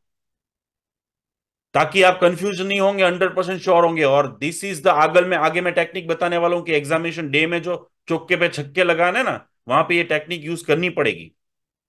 सो so, ये टेक्निक नंबर वन है। अब टेक्निक नंबर टू है कि आपने क्या किया कि भी देखा कि भी ये जो क्वेश्चन था फॉर एग्ज़ाम्पल क्या था? Carbohydrate digest in the first in कहाँ पे डाइजेशन होता है? तो माउथ में होता है इंटेस्टाइन स्टमक या नन ऑफ़ द अबोव या फिर इसमें नहीं होता। है तो सबसे पहले देखो बायोलॉजी का है ह्यूमन फिजियोलॉजी का है डाइजेशन के अंदर का क्वेश्चन है, ऐसा सोच लिया पेज दिखेगा। तो मुँह के अंदर होता है सबसे पहले। कहाँ पे होता है डाइजेशन कौन सा? एमाइलेस एमाइलेस सबसे ज़्यादा कहाँ पे सीक्रेट होता है? मुँह में। ये सारे क्वेश्चन पूछे जाते हैं नीट में, है ना? पीएच सबसे ज़्यादा कहाँ पे होती है? कार्बोहाइड्रेट से carbohydrate six glucose six phosphate glucose convert कहाँ पे क्या होता है? पीएच लेवल पूछा जाएगा स्टमक का। तो कहने का जो मेरा मतलब ये है कि गाइस ये ये फ़र्स्ट टेक्निक ये है कि आपको ऑप्शन नहीं देखना क्योंकि ऑप्शन से क्या होता है, हम इंसान लालचू है। हम लालची इंसान क्वेश्चन जैसे होगा, आधे क्वेश्चन से तुरंत नज़र हमारी कहाँ जाती है? तुरंत ही घूम के वहाँ ऑप्शन के ऊपर। भाई, ये कौन सा होगा? हाँ ये आंसर होगा। और इस वजह से ब्रेन कंफ्यूज होता है। उसको एनालिसिस का टाइम ही नहीं मिलता है। तो please remember never go for the option क्योंकि हमें पता है वहाँ पे ही सही आंसर है। और वहाँ पे तीन गलत है और एक सही है। और इस वजह से हम लोग गलती कर बैठते हैं। So always read two times option नहीं देखने हैं। मुँह से निकले, फिर उसके बाद ऑप्शन को ओपन करो। अगर ये टेक्निक यूज़ ना हुई, अगर आंसर नहीं आया तो सेकेंड सेकेंड जो है टेक्निक वो ये है कि आपको क्या करना है? ऑप्शन देखने हैं। उसमें से दो ऑप्शंस गलत वाले जो है, वो निकालने देखो, आपको ये क्वेश्चन से मैं एग्जांपल बताता हूँ कि स्टमक में डाइजेशन होता है हाँ होता है। इंटेस्टाइन में तो नहीं होता है। वहाँ पे तो ऑब्जर्प्शन का काम होता है दिस एंड दैट माउथ और स्टमक के बीच में कंफ्यूजन है। तो दो गलत वाले निकाल दिए intestine and none of the this फिर स्टमक और माउथ में कंफ्यूजन हो रही है। तो आप सोचो कि सबसे पहले कहाँ पे होता है तो ऑटोमेटिकली धीरे धीरे वहाँ पे आप आ, आ जाओगे।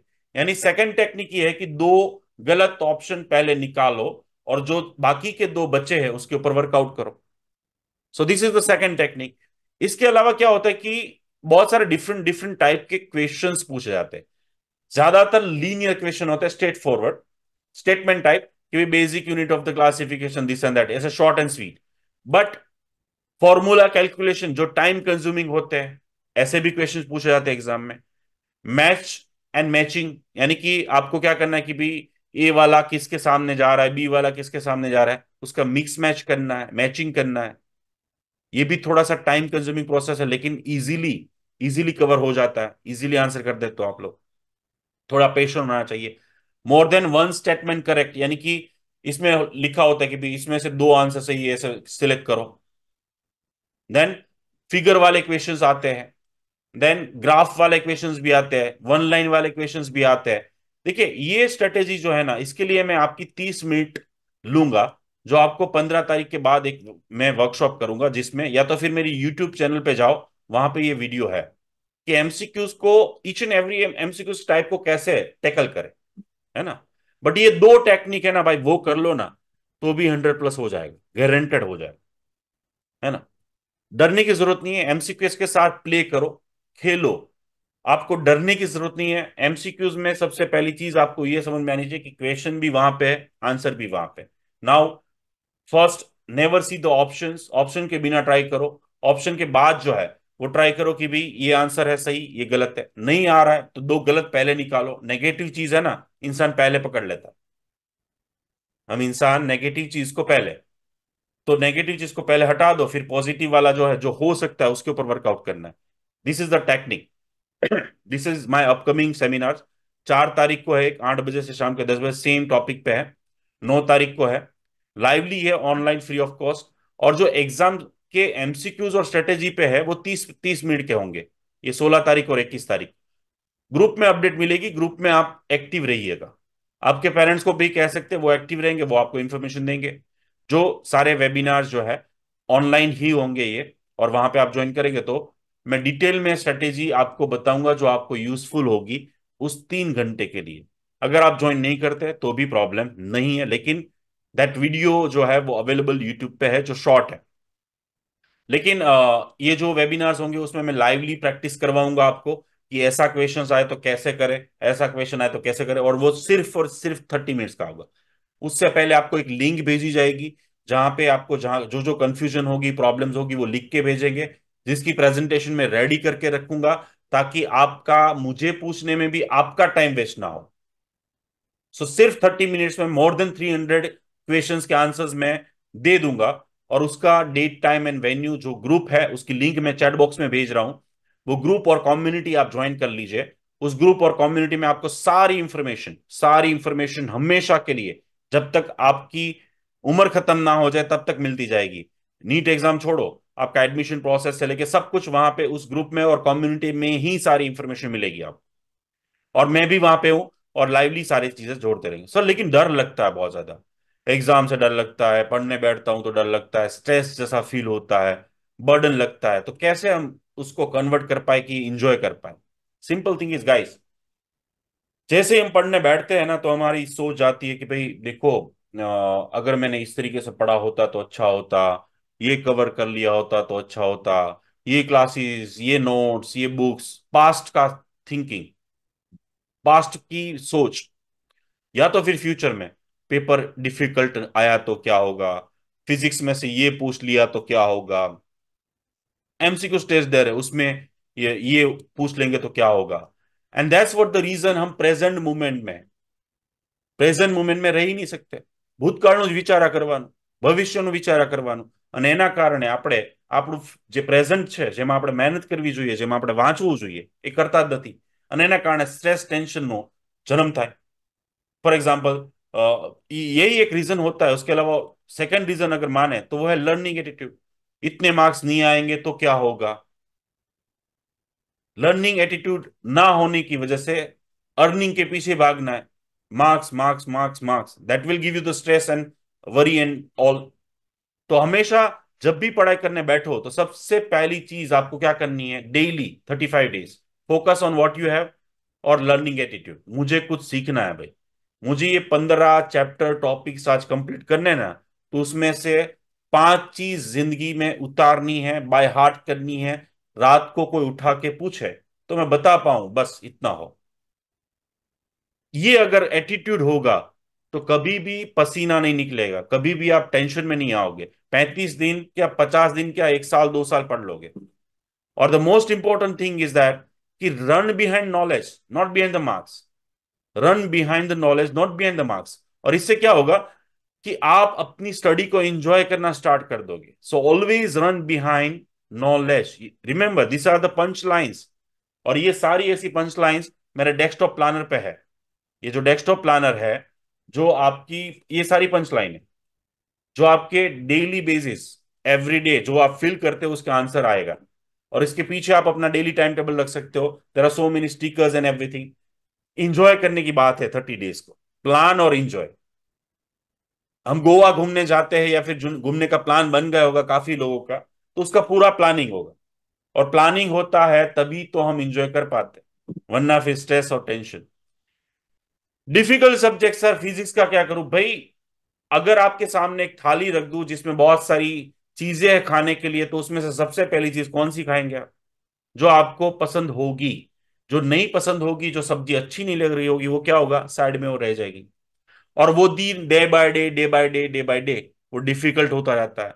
तो सिंपल थिंग डेली स्टडी का स्टार्टिंग आपको डिफ़िकल्ट सब्जेक्ट से करना है। फिजिक्स को छू लो, पैर से छू लो, ऐसे दो मिनट हाथ जोड़ के प्रार्थना कर लो, फिर दूसरे दिन उसको खोलने का मन करेगा, फिर तीसरे दिन उसको पढ़ने का मन करेगा, चौथे दिन आपको उसको और ज़्यादा पढ़ने का मन करेगा, और धीरे धीरे धीरे वो सब्जेक्ट्स आपको जो है वो इजी लगने लगेगा। अगर आपके टीचर, आपके प्रोफेसर, आपके फैकल्टी गुरु है कोई, और उसने किसी भी चीज़ में गोल्ड मेडल लिया है तो 90 परसेंट जिसने जिस चीज़ में गोल्ड मेडल लिया होगा, उसमें वो चीज़ में, वो स्कूल टाइम में या फिर समवेयर, वो फेल हुए होंगे या तो फिर वो सब्जेक्ट उनके लिए डिफ़िकल्ट होगा। उनके लिए वो डिफ़िकल्ट होगा। तो इसी तरीके से आपको भी अगर डिफ़िकल्ट सब्जेक्ट्स को इजी बनाना है तो स्टार्ट योर डे और study from the difficult subjects, और फिर देखना चमत्कार क्या होता है। डेली के मल्टीपल सब्जेक्ट्स पढ़ने चाहिए, क्योंकि हर एक सब्जेक्ट के लिए हमारा दिमाग डिफरेंट डिफरेंट यूज़ करता है। आपको थकावट कम होगी कॉन्सेंट्रेशन बढ़ेगा, दस नहीं, बारह घंटे पढ़ पाओगे। लेकिन अगर आप ये प्लानिंग के साथ चल रहे कि आज पाँच दिन हम बायोलॉजी पढ़ ले, फिर दस दिन हम फिजिक्स पढ़ लेंगे, गलती मत करना भाई। डेली का starting from the difficult subjects और डेली मल्टीपल सब्जेक्ट्स होना चाहिए। फॉलो एग्ज़ाम पैटर्न जो मैं बता चुका हूँ, सुबह बारह बजे से रात को छह बजे तक कुछ नहीं करना है। ना खा, उससे पहले खाना खा लो। उससे पहले, यानी कि एग्ज़ाम पैटर्न को पूरा फॉलो करो। तीन घंटे बैठने की आदत डालो। तीन घंटे बीस मिनट। वैसे देखा जाए तो चार घंटे बैठना है। तो चार घंटे बैठने की तो एटलीस्ट आदत होनी चाहिए। वही आपकी पचास मार्क्स प्लस कर देगा। काफ़ी लोग होते एक घंटे के बाद वॉशरूम होके आते होता कुछ नहीं है। जैसे हम व्हाट्सएप में हर बार देखने जाते कुछ आया। इंस्टाग्राम में देखते कुछ आया। वैसे ही हम लोग, होती आदत कुछ लोगों की, लेकिन वो आदत चेंज करनी पड़ेगी टू गेट हाई स्कोर क्योंकि आप फाइनल वर्ल्ड कप रनने खेलने जा रहे हैं। इट्स नॉट अबाउट दैट गली मोहल्ले में जो हम खेलते थे अभी तक, हमारे ट्यूशन क्लासेस में स्कूल में, वो बात नहीं है। ये बात है कि हम फाइनल में अगर खेलना चाहते हैं वांगखोड़िया स्टेडियम में जा रहे हैं या फिर मोदी जो स्टेडियम है, उसमें जा रहे हैं तो ऑफकोर्स उसकी वे में हमें अपने आप को डेवलप करना पड़ेगा। So follow the exam pattern please next difficult यानी adapt your body in the age पर टाइम टेबल और उसके लिए मैं टाइम वो भेज रहा हूँ आपको ओएमआर शीट के साथ पेपर जो पूछे गए और उसमें से 20 से 25 परसेंट एमसीक्यूज तो रिपीटेडली पूछे ही जाते हैं। तो ये भी फ़ायदा होता है मिनिमम फाइव पेपर्स आपको जैसे एग्ज़ाम में जाते हो और सॉल्व करते हैं, वैसे ही करना है। एक जगह पकड़नी है। वही टाइम टेबल वही टाइम होना चाहिए दोपहर का। एग्जैक्टली सामने सामने रख लो, घड़ी घड़ी रखो। सामने और टाइम के साथ क्लॉक के साथ सेकंड के साथ सारी चीज़ें करनी है। कैसे करनी वो बता रहा हूँ ना, क्योंकि अभी आगे बताऊँगा। आगे बताऊँगा। रिवीजन मैक्सिमम फोकस जो आपके पास है, उसका जितना रिवाइज करोगे, दाने से दाना निकलेगा भाई, बता रहा हूँ। जितना फोकस जितनी बार आप रिवाइज करोगे, इतना फ़ायदा है। ये एक महीने में। सो मैक्सिमम रिवीजन पे फोकस कीजिए। Focus on what you have मैंने बता दिया ऑलरेडी आपको। अलग अलग अफवाहें फैलेगी, बातें होगी। ऐसी अफवाहें और ऐसे लोग जो ये बातें करते हैं, उनसे दूर रहो। सिंपल ये होगा डिफ़िकल्ट होगा इजी होगा, कोई मतलब ही नहीं है। You you need to focus what you have और वो तीन घंटे में भी वही करना है। 720 में से 720 नहीं लाना है भाई। और किसी को लाना है तो मुझे कोई प्रॉब्लम नहीं है। बट नहीं लाना है तो फिर क्यों सब चीज़ में फोकस करे? क्यों फेक और ये सब चीज़ों में जाए? और ये पैंतीस दिन थर्टी फाइव डेज़ अगर आपको रियल में, अगर आपको रियल में अच्छे मार्क्स लाने हैं टू हंड्रेड प्लस लाने हैं, आपकी कैपेसिटी बढ़ानी है कॉन्सेंट्रेशन बढ़ाना है तो मैं अगर आपकी जगह होगा तो मैं अपना मोबाइल फ़ोन रख दूँगा साइड में। मैं अपना टीवी रख दूँगा साइड में। मैं अपना लैपटॉप सब कुछ साइड में रख दूँगा। अपना सोशल मीडिया साइड में रख दूँगा। हो सकता है कि भाई मैं उसके लिए टाइम दू daily for example half an hour और वो भी फिक्स रहेगा। और फिर उसके बाद देखिए क्या चमत्कार होता है। क्या आपको रिज़ल्ट मिलता है just in thirty five days क्योंकि अगेन मैं वो स्लाइड याद करवाऊं two years equal to thirty five days is equal to that three hours तीन घंटे। तो ये थर्टी फाइव डेज़ अगर आपने डजेंट मैटर कितना पड़ा कितना नहीं पड़ा मैं फिर से कहूँगा जो लास्ट में कि, किस स्पीड से दौड़ रहा है ना उस पर डिपेंड करता है। सॉरी अगर वो 700 मार्क्स वाला इंसान अपनी स्पीड नहीं बढ़ाएगा तो वो पीछे रहेगा। और 200-300 वाला सोचेगा कि नहीं भाई कुछ नहीं होने वाला है तो ऑफकोर्स उसका कुछ नहीं होगा। लेकिन अगर उसने भी स्पीड बढ़ा दी इस 35 दिन में तो वो डबल तक पहुँच सकता है। डबल तक पहुँच सकता है गारंटेड क्योंकि एक एक चैप्टर का मैंने बताया कि अगर आप एक टॉपिक पढ़ लो ना तो आगे बता चुका हूँ। तीस तीस मार्क्स आ जाते हैं आपके पॉकेट में। तो क्या आप वो पाँच टॉपिक्स पढ़, पाँच चैप्टर ऐसे पढ़ के आप अपने पॉकेट में हंड्रेड मार्क्स और नहीं डाल सकते हो? क्या बात कर रहे हो यार? हो सकता है, बता तो दिया, दिखा तो दिया सारा।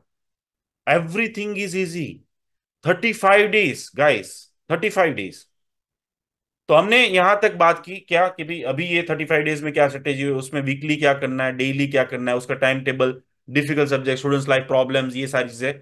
द मोस्ट इंपॉर्टेंट थिंग उस तीन घंटे और बीस मिनट में क्या करना उसकी स्ट्रेटेजी क्या होनी चाहिए? ये अगर जानना है तो मुझे रियली really पहले ये बताओ कि अभी तक का हमारा वर्कशॉप आपको कैसा लगा।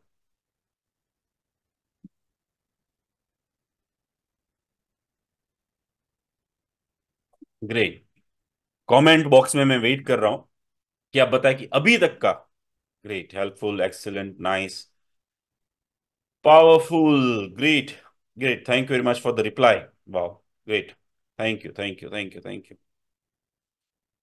तो आइए जानते हैं कि आपने थर्टी फाइव डेज़ की, मैंने बताया वैसे मस्त तैयारी की, दस घंटे से ज़्यादा पढ़ाई की एवरी डे आपने डिफ़िकल्ट सब्जेक्ट से स्टार्ट किया मोबाइल, लैपटॉप, सोशल मीडिया पे टाइम वेस्ट नहीं किया। बारह से छह आपने पढ़ाई की, पाँच से ज़्यादा पेपर सेट मॉक टेस्ट दी। एवरी डे रात को सोने से पहले सब कुछ रिवाइज किया, पंद्रह मिनट योगा एक्सरसाइज समथिंग कर लिया, जो जो मैंने बोला सुबह शाम। अब टाइम आ गया सेवेंथ में। आप उससे पहले पेरेंट्स जो बहुत करते ना, ये दिस एंड दैट आप देख लेना कि भी आपके घर से लोकेशन कब कितना दूर है, कितने रास्ते हैं। एक दो रास्ते डिफरेंट डिफरेंट होने चाहिए, जाके विज़िट कर लो और फिर उसके बाद स्टूडेंट्स को भी लेके जाओ एग्ज़ाम से पहले ही और विज़िट करवा लो ताकि वो नए एनवायरमेंट ना लगे, नई जगह उनको ना लगे। थोड़ा सा साइकोलॉजी होता है और आधे घंटे में, एक घंटे में कोई फ़र्क नहीं पड़ता। अगर आप सेम सिटी में ही आपका सेंटर है तो ठीक है? तो करना चाहिए ये चीज़। लेकिन एक बार आप एग्जामिनेशन हॉल में बैठे, आपके पास वो पेपर दे दिया गया शीट दे दी गई है।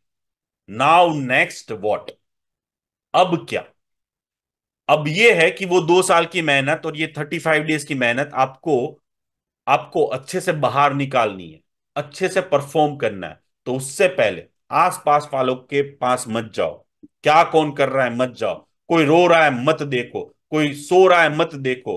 किसी को कुछ हो रहा है मत देखो। कोई चिल्ला रहा है मत देखो। Don't care you just visualise मैं इसके ऊपर पंद्रह मिनट का एक वीडियो भेजूँगा। सात तारीख से पहले, ठीक है? आपके लिए फिर से मैं मेरी टीम को बोलूँगा कि वो कम्युनिटी और व्हाट्सएप कम्युनिटी और ग्रुप का भेज दे वो। और वो वीडियो आप अगले दिन देख लेना या फिर दो दिन पहले देख लेना। वहाँ पे यही मैं बात बताऊँगा इट्स योर ग्राउंड आप अपनी जगह पे परफॉर्मेंस देने जा रहे हो, चाहे आप 300 वाले स्टूडेंट हो, चार सौ वाला हो 500 वाला हो 600 700 आपको अपने बटोरने हैं। आपके मार्क्स आपकी मेहनत, आपकी चीज़ आपने जो मेहनत की है, वो लेके आनी है वहाँ से तीन घंटे में। तो दूसरी जगह फोकस नहीं करना है। मस्त आराम से बैठो। अपने माँ बाप को, अपने इष्ट देव को, अपने भगवान को या जिसमें मानते हो, उसको just just ten fifteen second के लिए आँख बंद करके याद कर लो और अपने आप को पाँच बार बोलो yes I can do I will I will score high I will do everything best और फिर उसके बाद जो है स्टार्ट यूजिंग दिस स्ट्रेटेजी जो मैं आपको बता रहा हूँ। तो सबसे पहले जो मैंने बताया कि ये this three hours is important और वहाँ पे भी आपको एक ही चीज़ याद रखनी है 720 में से 720 नहीं लाने 720 में 720 नहीं लाने आपकी जो कैपेसिटी है, आपकी जो तैयारी है 600 की तो 650 आने चाहिए। 500 की है तो 550 आने चाहिए। 400 है तो 450 लेके आने। 300 है तो 350 लेके आने। तो फोकस कहाँ करना है भाई? Focus on what you have तो अगेन फिर से मैं बताऊँ कि टाइम टेबल देख लीजिएगा टाइमिंग देख लीजिएगा, एक बजे से पहले पहुँच जाएगा, एक पंद्रह से ऑनवर्ड मीन्स एग्जामिनेशन हॉल में बैठने देंगे, डेढ़ बजे के बाद आपको, नहीं, पाँच बीस पे कंप्लीट होगा, ये सारी चीज़ें आपको पता ही है। कितने मार्क्स की एग्ज़ाम है, कितना मिनट से मैं बता चुका हूँ। एग्ज़ाम्स में क्या अलाउ है, क्या अलाउ नहीं है, मैं अगले दिन भी भेजूँगा वीडियो फिर से भेजूँगा सिंपल थिंग इज़ दैट क्या अलाउ नहीं है, क्या नहीं अलाउ है, वो देख लीजिएगा। मैं वीडियो भेजूँगा आपको। ठीक है? क्या गर्ल्स के लिए भी सेम कौन सी चीज़ अलाउ नहीं है? ताकि आपको वहाँ पे बाहर परेशानी ना हो। वो लोग हैरान परेशान ना करें। सिंपल थिंग इज़ क्या लेके जा सकते हो? आपका एडमिट कार्ड आपको पासपोर्ट साइज़ का फोटोग्राफ और आपका आईडी प्रूफ ये चीज़ लेके जा सकते हो। इसके अलावा कुछ भी नहीं। कुछ भी लेके नहीं जाना है। वरना वो लोग ले लेंगे या तो फिर परेशान करेंगे। दो क्वेश्चन पूछ लिया, वैसे ही हार्ट बीट बढ़ गई, पसीना हो गया। इस वजह से परफॉर्मेंस नहीं दे पाए। तो पहले से जान के जाओ कि ये सारी चीज़ें आपको लेके नहीं जानी है। एग्जामिनेशन हॉल में ये लेके नहीं जानी है, वहाँ पे सब कुछ देंगे आपको। है ना? डोंट वरी अबाउट नाउ परेशानी ना हो इसलिए, देखो फिर बाद में काटा जाता है, सब निकाला जाता है तो बेटर है कि अवॉइड एग्जामिनेशन हॉल में क्या स्ट्रेटेजी होनी चाहिए? तीन घंटे, बीस मिनट, दो सौ मिनट की? तो सबसे पहले जो बायोलॉजी है, जो हाई स्कोरिंग है, जो इजी है, उसको आप अटेंड करो सबसे पहले। फिर उसके बाद केमिस्ट्री को अटेंड करो और फिर उसके बाद फिजिक्स को अटेंड करो। बहुत इंपॉर्टेंट है, बहुत ज़्यादा इंपॉर्टेंट है, लेकिन इसकी रियलिटी आपको क्या पता चलेगी? पता, ये जो एक महीने में आप पाँच से ज़्यादा मॉक टेस्ट देंगे ना, मैंने जो बताई एमसीक्यू सॉल्व करने की टेक्निक वो यूज़ करेंगे, तब आपको पता चल जाएगा कि yes this technique is working this strategy is working आगे बात करते हैं तो वो है difficult level in the NEET UG exam तो वो कैसे होता है? कितने क्वेश्चंस इजी पूछे जाते हैं, कितने मीडियम होते हैं और कितने डिफ़िकल्ट होते हैं? ये जानना बहुत ज़रूरी है गाइस दुनिया की हर एक एग्ज़ाम में और लास्ट दस साल में सारी जो चीज़ें हमने एनालिसिस की, उसमें इजीएस्ट क्वेश्चन जो पूछे जाते हैं, वो पचास से साठ परसेंट होते हैं. यानी कि 180 में से 100 एमसीक्यूज इजी ही होते हैं. इजी होते हैं. यानी कि 400 मार्क्स आप पॉकेट में डाल के निकल सकते हो। लेकिन ये पता भी तो होना चाहिए कि 50 से 60 परसेंट ईजी होते हैं। मीडियम यानी कि थोड़ा बहुत टाइम कंज्यूमिंग वाले 30 से 40 परसेंट होते हैं, यानी कि 70 एमसीक्यूज यानी वो 280 मार्क्स भी आप कवर कर सकते हो। लेकिन गेम खराब जो करता है हर एक स्टूडेंट का, वो है ये डिफ़िकल्ट वाले। 10 से 20 और 30 एमसीक्यूज और उसका स्कोरिंग देख लो 120 है। अब वो 120 की वजह से focus on what you have पहले ही से ही बोल रहा हूँ, वहाँ नहीं होता, इस वजह से सब हाथ से जाता है। और फिर बाद में सब जगह, जय माता जय माता जय माता जय माता यही होता है ना। दुनिया की हर एग्ज़ाम की स्ट्रेटेजी होती है। चाहे आप दुनिया की डिफ़िकल्ट एग्ज़ाम दो इजिएस्ट एग्ज़ाम दो तो उसमें सब कुछ डिफ़िकल्ट सब कुछ मॉडरेट सब कुछ टाइम कंज्यूमिंग नहीं होता है भाई। तो मैं आपके सामने तीन ऑप्शन रख दू। मैं आपको स्ट्रेटेजी सिखाना चाहता हूँ कि आपके पास 180 एट्टी एमसीक्यूज है, उसमें से 100 इजी वाले हैं 70 मॉडरेट है और 30 एमसीक्यूज डिफ़िकल्ट वाले हैं। आपको कौन से पहले, आप कौन से एमसीक्यूज पहले उठाएँगे बताओ, चलो कमेंट बॉक्स में। अगर इजी उठाने वाले तो ई e लिखो मीडियम वाले उठाने वाले तो एम लिखो डिफ़िकल्ट वाले उठाने तो डी लिखो। सबसे पहले कौन से उठाओगे? Of course easy of course of course easy so hundred MCQs उठा लिए, चार सौ तो मेरे आ गए भाई, चलो। ये कॉलेज तक तो मैं पहुँच गया। फिर उसके बाद मीडियम में से मैं अपने उठा लूँगा 200 वाले या वन फॉर एग्जांपल 70 में से 60 40 उठा लू। सोचो, मैं एंटर हो गया गवर्नमेंट कॉलेज तक। अगर ये चीज़ भी आपको समझ में आ जाए you need to play guys you need to play आपको लास्ट बॉल में छह रन मारने हैं तो इसका मतलब ये नहीं कि हो नहीं सकता। हो सकता है। हो सकता है बाउंड्री पार हो जाए। You just need to give trust to yourself कि आप अपने आप को ट्रस्ट तो दो। आगे बढ़ते strategy to get high score in NEET UG exam तो भाई, इसमें एक ही स्ट्रेटेजी है round one round two and round three round one में, अब बायोलॉजी फ़र्स्ट ले रहे या केमिस्ट्री या फिजिक्स जो भी। राउंड वन में क्वेश्चन पढ़ा। गाइज़ मैं बहुत शॉर्टली बता रहा हूँ। Try to focus round one में आपने क्वेश्चन पढ़ा और मुँह से आंसर निकला बिना देखे। That's what the round one उसमें सारे आपके लिए जो इजी होंगे, वो आप पॉकेट में डालते जाओगे। वो कितने होंगे अप्रोक्सीमेटली गारंटेड कितने होंगे? हंड्रेड हंड्रेड होंगे मिनिमम फिर सेकेंड राउंड में क्या करना है आपको? यानी कि फ़र्स्ट राउंड में आप कभी भी टाइम कंज्यूम देखो, कोई भी एग्ज़ाम होती है ना, उसमें क्या एग्जामिन करता है? बायोलॉजी का सेशन है, ठीक है? तो उसमें पहले दो एमसीक्यूज इजी होंगे, आप खुश हो जाएँगे। फिर एक डिफ़िकल्ट आया, अरे बाप रे, ये तो मैंने पढ़ा ही नहीं था। फिर तीसरा अरे ये भी नहीं आता। अरे चौथा, अरे बाप रे, ये भी नहीं आता। पांचवा, ये भी नहीं आता। तो why you are worry guys focus on what you have आपको round one two and three strategy या तो फिर हुआ ये कि फ़र्स्ट पाँच एमसीक्यूज बहुत इजीली फटाफट सॉल्व हो गए। फिर नीचे वाले जो दो तीन एमसीक्यूज थे, उसमें काफ़ी टाइम चला गया। आपने घड़ी देखी? बाप रे टाइम गया। मैं तो पीछे चली गई, मैं तो पीछे रह गया। सब आगे चले होंगे। Don't do all this shit simple thing round one two and three strategy round one में क्वेश्चन पढ़ा आंसर ठोका। क्वेश्चन पढ़ा आंसर ठोका। जो टाइम कंज्यूमिंग है, जिसके लिए सोचना पड़ेगा, जो फॉर्मूला बेस है जो ग्राफ बेस है मिक्स बेस बेज है टाइम चाहिए जिसके लिए नहीं पता है, उसको बोलना है, या तो फिर करना है ओम इग्नोर आय बाद में देख लूँगा तुझे। पहले मैं अपना है ना वन हंड्रेड वाला, चार सौ मार्क्स अपने पॉकेट में रख के आता बेटा, फिर बाद में देखते है ना? Enjoy enjoy that moment and that I will teach you after ten fifteen days के बाद, क्योंकि उस उस टाइम पे वो ज़रूरी होगा। उस टाइम पे उस लेवल पे आप आ गए होंगे, जहाँ पे मैं आपको इंजॉय करना सिखाऊँगा। उसको गाली देखना सिखाऊँगा, उसकी उंगली करना सिखाऊँगा। राउंड टू राउंड टू में आपको क्या करना है? 400 अप्रोक्सीमेटली मैं कह रहा हूँ कि आपने बटोर लिए। फिर अभी जो मीडियम वाले हैं, जिसमें थोड़ा सा टाइम लगेगा, जो फॉर्मूला जिसके ऑप्शन दो गलत निकालने होंगे, उसमें से एक सही होगा, उसके ऊपर थोड़ा वर्कआउट करना होगा, वो वाले लेंगे आप। वो अप्रोक्सीमेटली सिक्सटी टू सेवेंटी हो सकते हैं फॉर एग्ज़ाम्पल डिपेंड फोर्टी हो सकता है, किसी के थर्टी हो सकते हैं। वो उठा लो। उसके ऊपर वर्कआउट करो।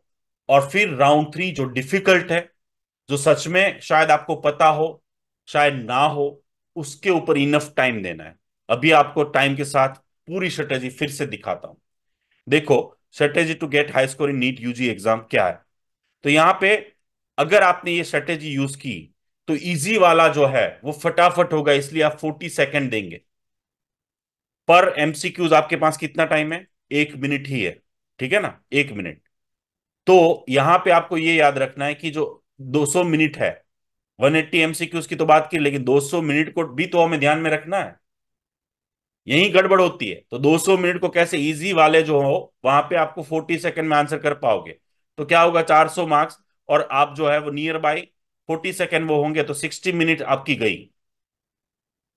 फिर जो मीडियम वाले जहाँ पे थोड़ा सा टाइम ज़्यादा देना पड़ेगा, वहाँ पे इजी वाले में टाइम ज़्यादा नहीं बिगड़ा, इसलिए वो बचा हुआ टाइम आप मीडियम वालों में डाल रहे हैं। तो वहाँ पे आपके 90 मिल गई, यानी कि 60 सेकंड की जगह पे 80 सेकंड यानी कि 20 सेकंड ज़्यादा मिल रही है आपको पर एमसीक्यूज और डिफ़िकल्ट वाले में और ज़्यादा, यानी कि 40 प्लस हो गया। अप्रोक्सीमेटली डेढ़ मिनट से ज़्यादा टाइम मिल रहा है डिफ़िकल्ट वाले पे। और इससे क्या फ़ायदा होगा? आप ज़्यादा कॉन्सेंट्रेट कर पाओगे, ज़्यादा मार्क्स अपने पॉकेट में रख पाओगे। हमारी स्ट्रेटेजी क्या होती है? आता है, नहीं आता है, आता नहीं आता उस कंफ्यूजन में हम we are not playing games तो ये strategy round one two and three वाली यूज़ कीजिए। तो ये मैंने बात बताई तीन घंटे की, जो बहुत इंपॉर्टेंट थी, जिसका मैं एक और थर्टी मिनट्स का वेबिनार करूँगा आपके क्वेश्चन के बेस पे। जिसमें मैं 300 आपके क्वेश्चन लूँगा पूरे भारत देश में से और उसके आंसर स्ट्रेटेजिकली दूँगा और सभी लाइवली विथ एग्जांपल एमसीक्यूज के साथ दूँगा।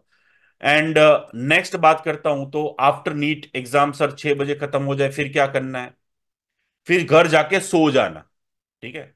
घर जाके आराम कर लेना फिर घर जाके वो सारी चीज़ करना जो आपको इस साढ़े ती, इस तीस दिन में नहीं की।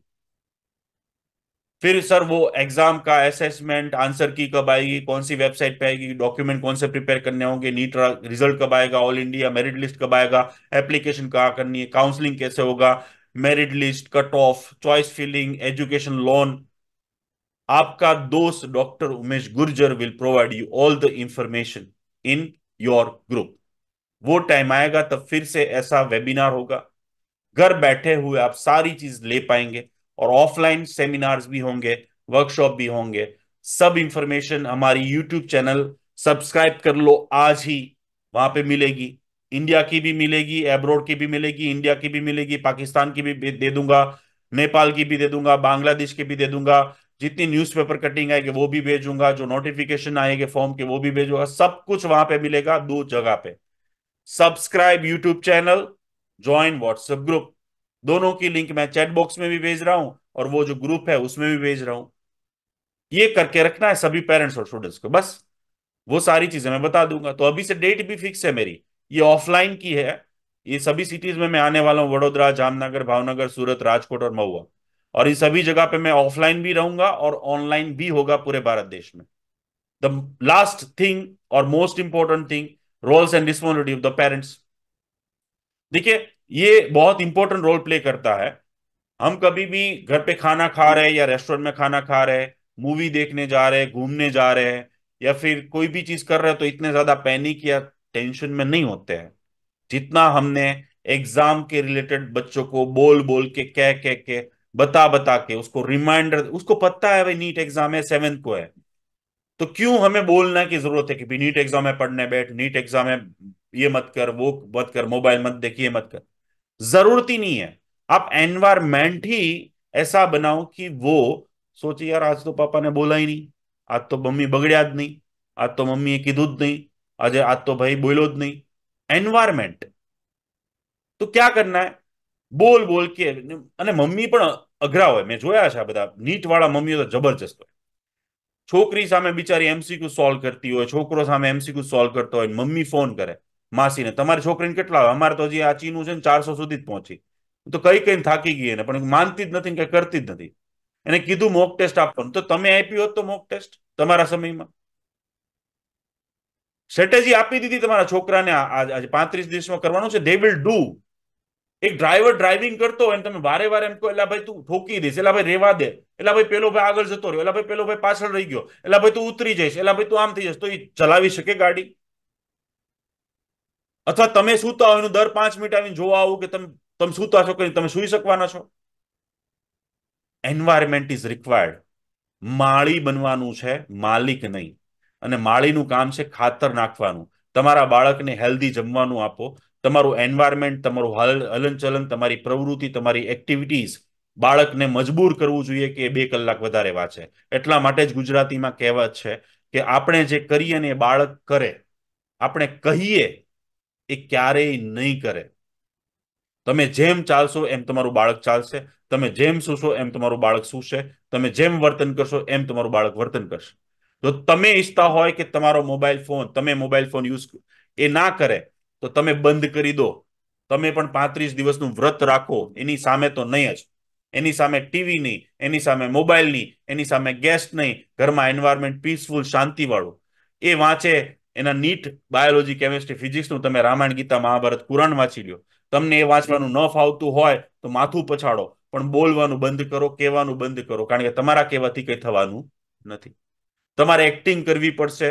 તમે એક્ટિંગ એવી કરો કે ભાઈ બાળક એના રૂમમાં વાંચતું હોય તો તમે બાર હોલમાં વાંચો એને એમ થવું જોઈએ પાણી પીવા બહાર આવે કે નહીં મારા પપ્પા પણ મહેનત કરે છે મારી મમ્મી પણ મહેનત કરે છે અનવોન્ટેડ ગેસ્ટ ના આવવા જોઈએ શાંતિપ્રિય વાતાવરણ શાંતિ વડો વાતાવરણ ઘરના કન્ફ્લિક્ટ ઘરના પ્રોબ્લેમ પાંત્રીસ દિવસ માટે જાત્રાએ મોકલી દો આટલું કરવાથી માત્ર તમારા બાળકના પચાસ થી સાહીઠ માર્ક્સ વધી શકે આ તો ટોર્ચરિંગ હોય છે તે પેલું ફોર્મ ભર્યું ગુજકેટની એક્ઝામ આપી આન્સર કે એવી સોલ્વ કર્યું તે આજે પેપર આપ્યું હતું પેલા ક્લાસીસમાં એમાં કેટલા માર્ક્સ આવ્યા એમાં કેમ ચારસો ની નીચે જ આવ્યા એમાં પાંચસો કેમ ના થયું ડિફિકલ્ટ હતું તો પેલીને કેમ એટલું it's not your cup of tea you are માળી माड़ी का काम होता है खाद डालना, उसका प्रोटेक्शन करना, वो स्ट्रेस फ्री टेंशन फ्री रहे, उसको धूप ना लगे, उसको पानी देना, उसको खाना देना एनवायरमेंट क्रिएट करना, ना कि उसके पीछे लगना।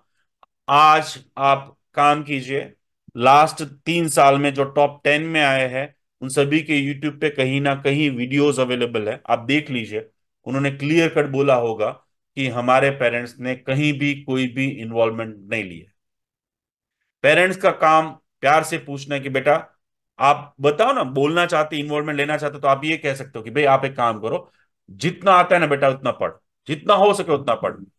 पढ़ना है तो जो पढ़ रही है तू या फिर पढ़ रहा है तू फॉर लर्निंग कुछ सीखने के लिए बेटा, ठीक है?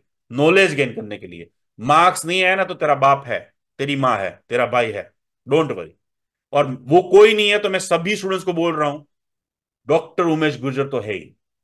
I give you that way आपका कोई भी सपना होगा, वो मैं ओपन चैलेंज के साथ कहता हूँ, वो पूरा होगा होगा होगा। चाहे पैसे है तो भी कर दूँगा, नहीं है तो भी कर दूँगा, सारे रास्ते हैं मेरे पास। टेंशन छोड़ दो पैंतीस दिन के लिए। पेरेंट्स को भी बोलूँगा, छोड़ो टेंशन प्लेजेंट एनवायरमेंट अच्छा खाना खाओ अच्छा खाना बना के खाओ। बच्चा पढ़ रहा है तो आप भी पढ़ो।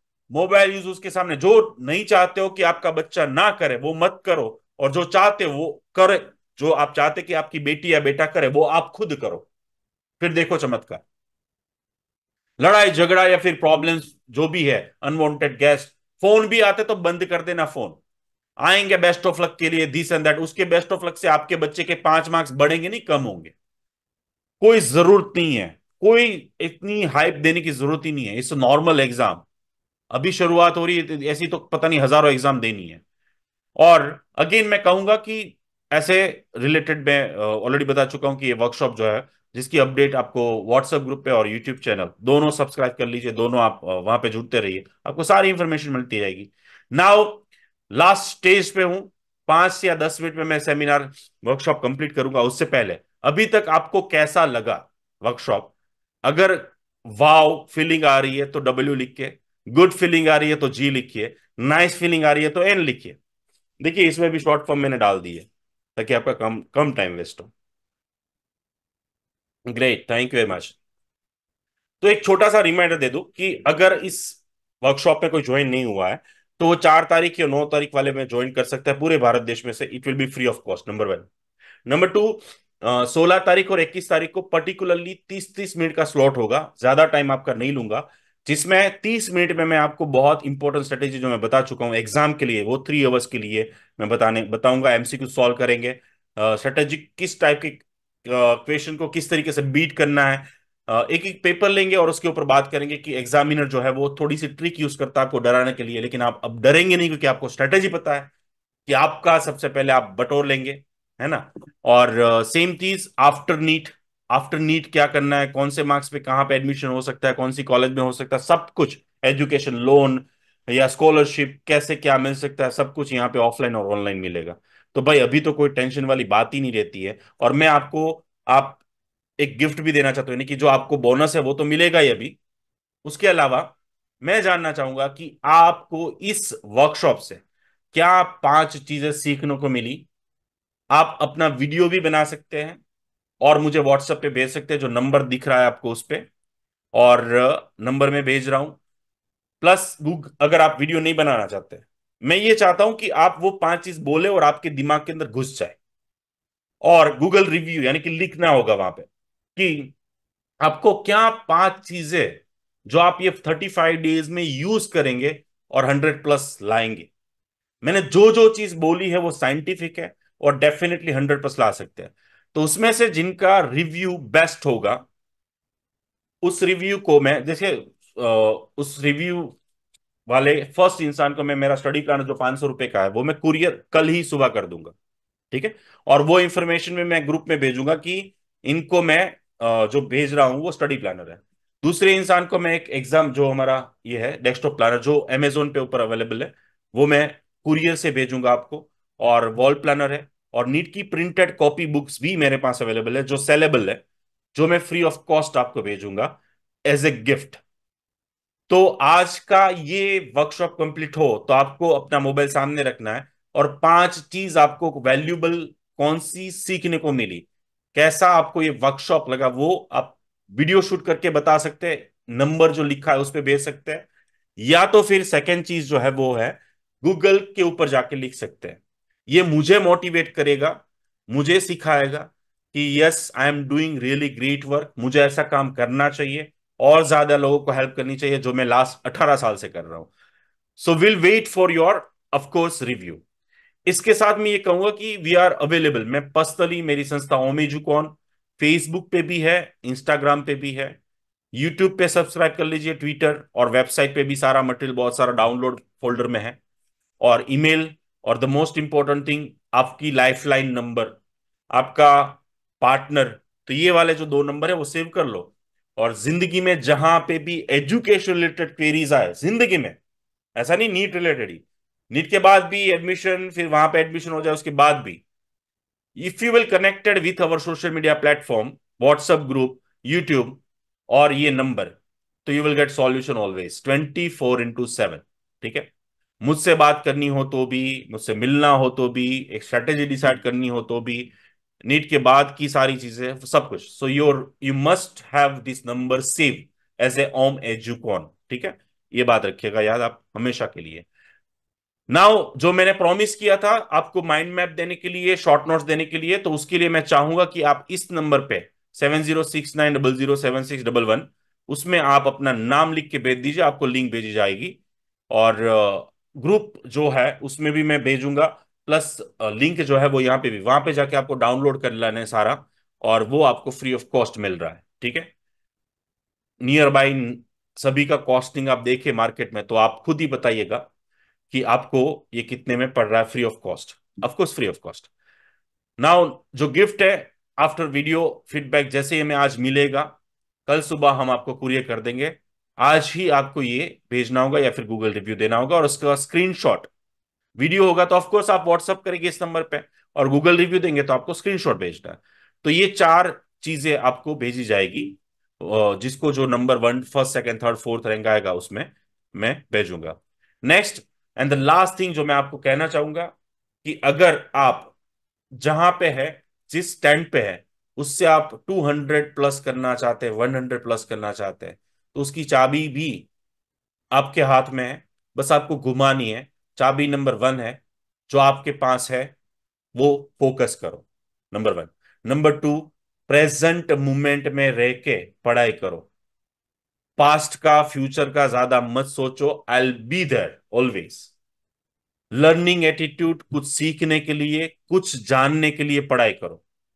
एग्ज़ाम पैटर्न को फॉलो करो। बारह से छह। और मैक्सिमम जो है आपके पास जो है उसका रिवीजन रिवीजन रिवीजन करो। और फिर देखो, होता है, यानी कि आप परिश्रम करेंगे, पुरुषार्थ करेंगे, फिर उसके बाद प्रतीक्षा करेंगे तो परिणाम आपके फेवर में ही होगा, चाहे जो भी हो। Thank you very much for the joining me wish you all very very happy exam really really thank you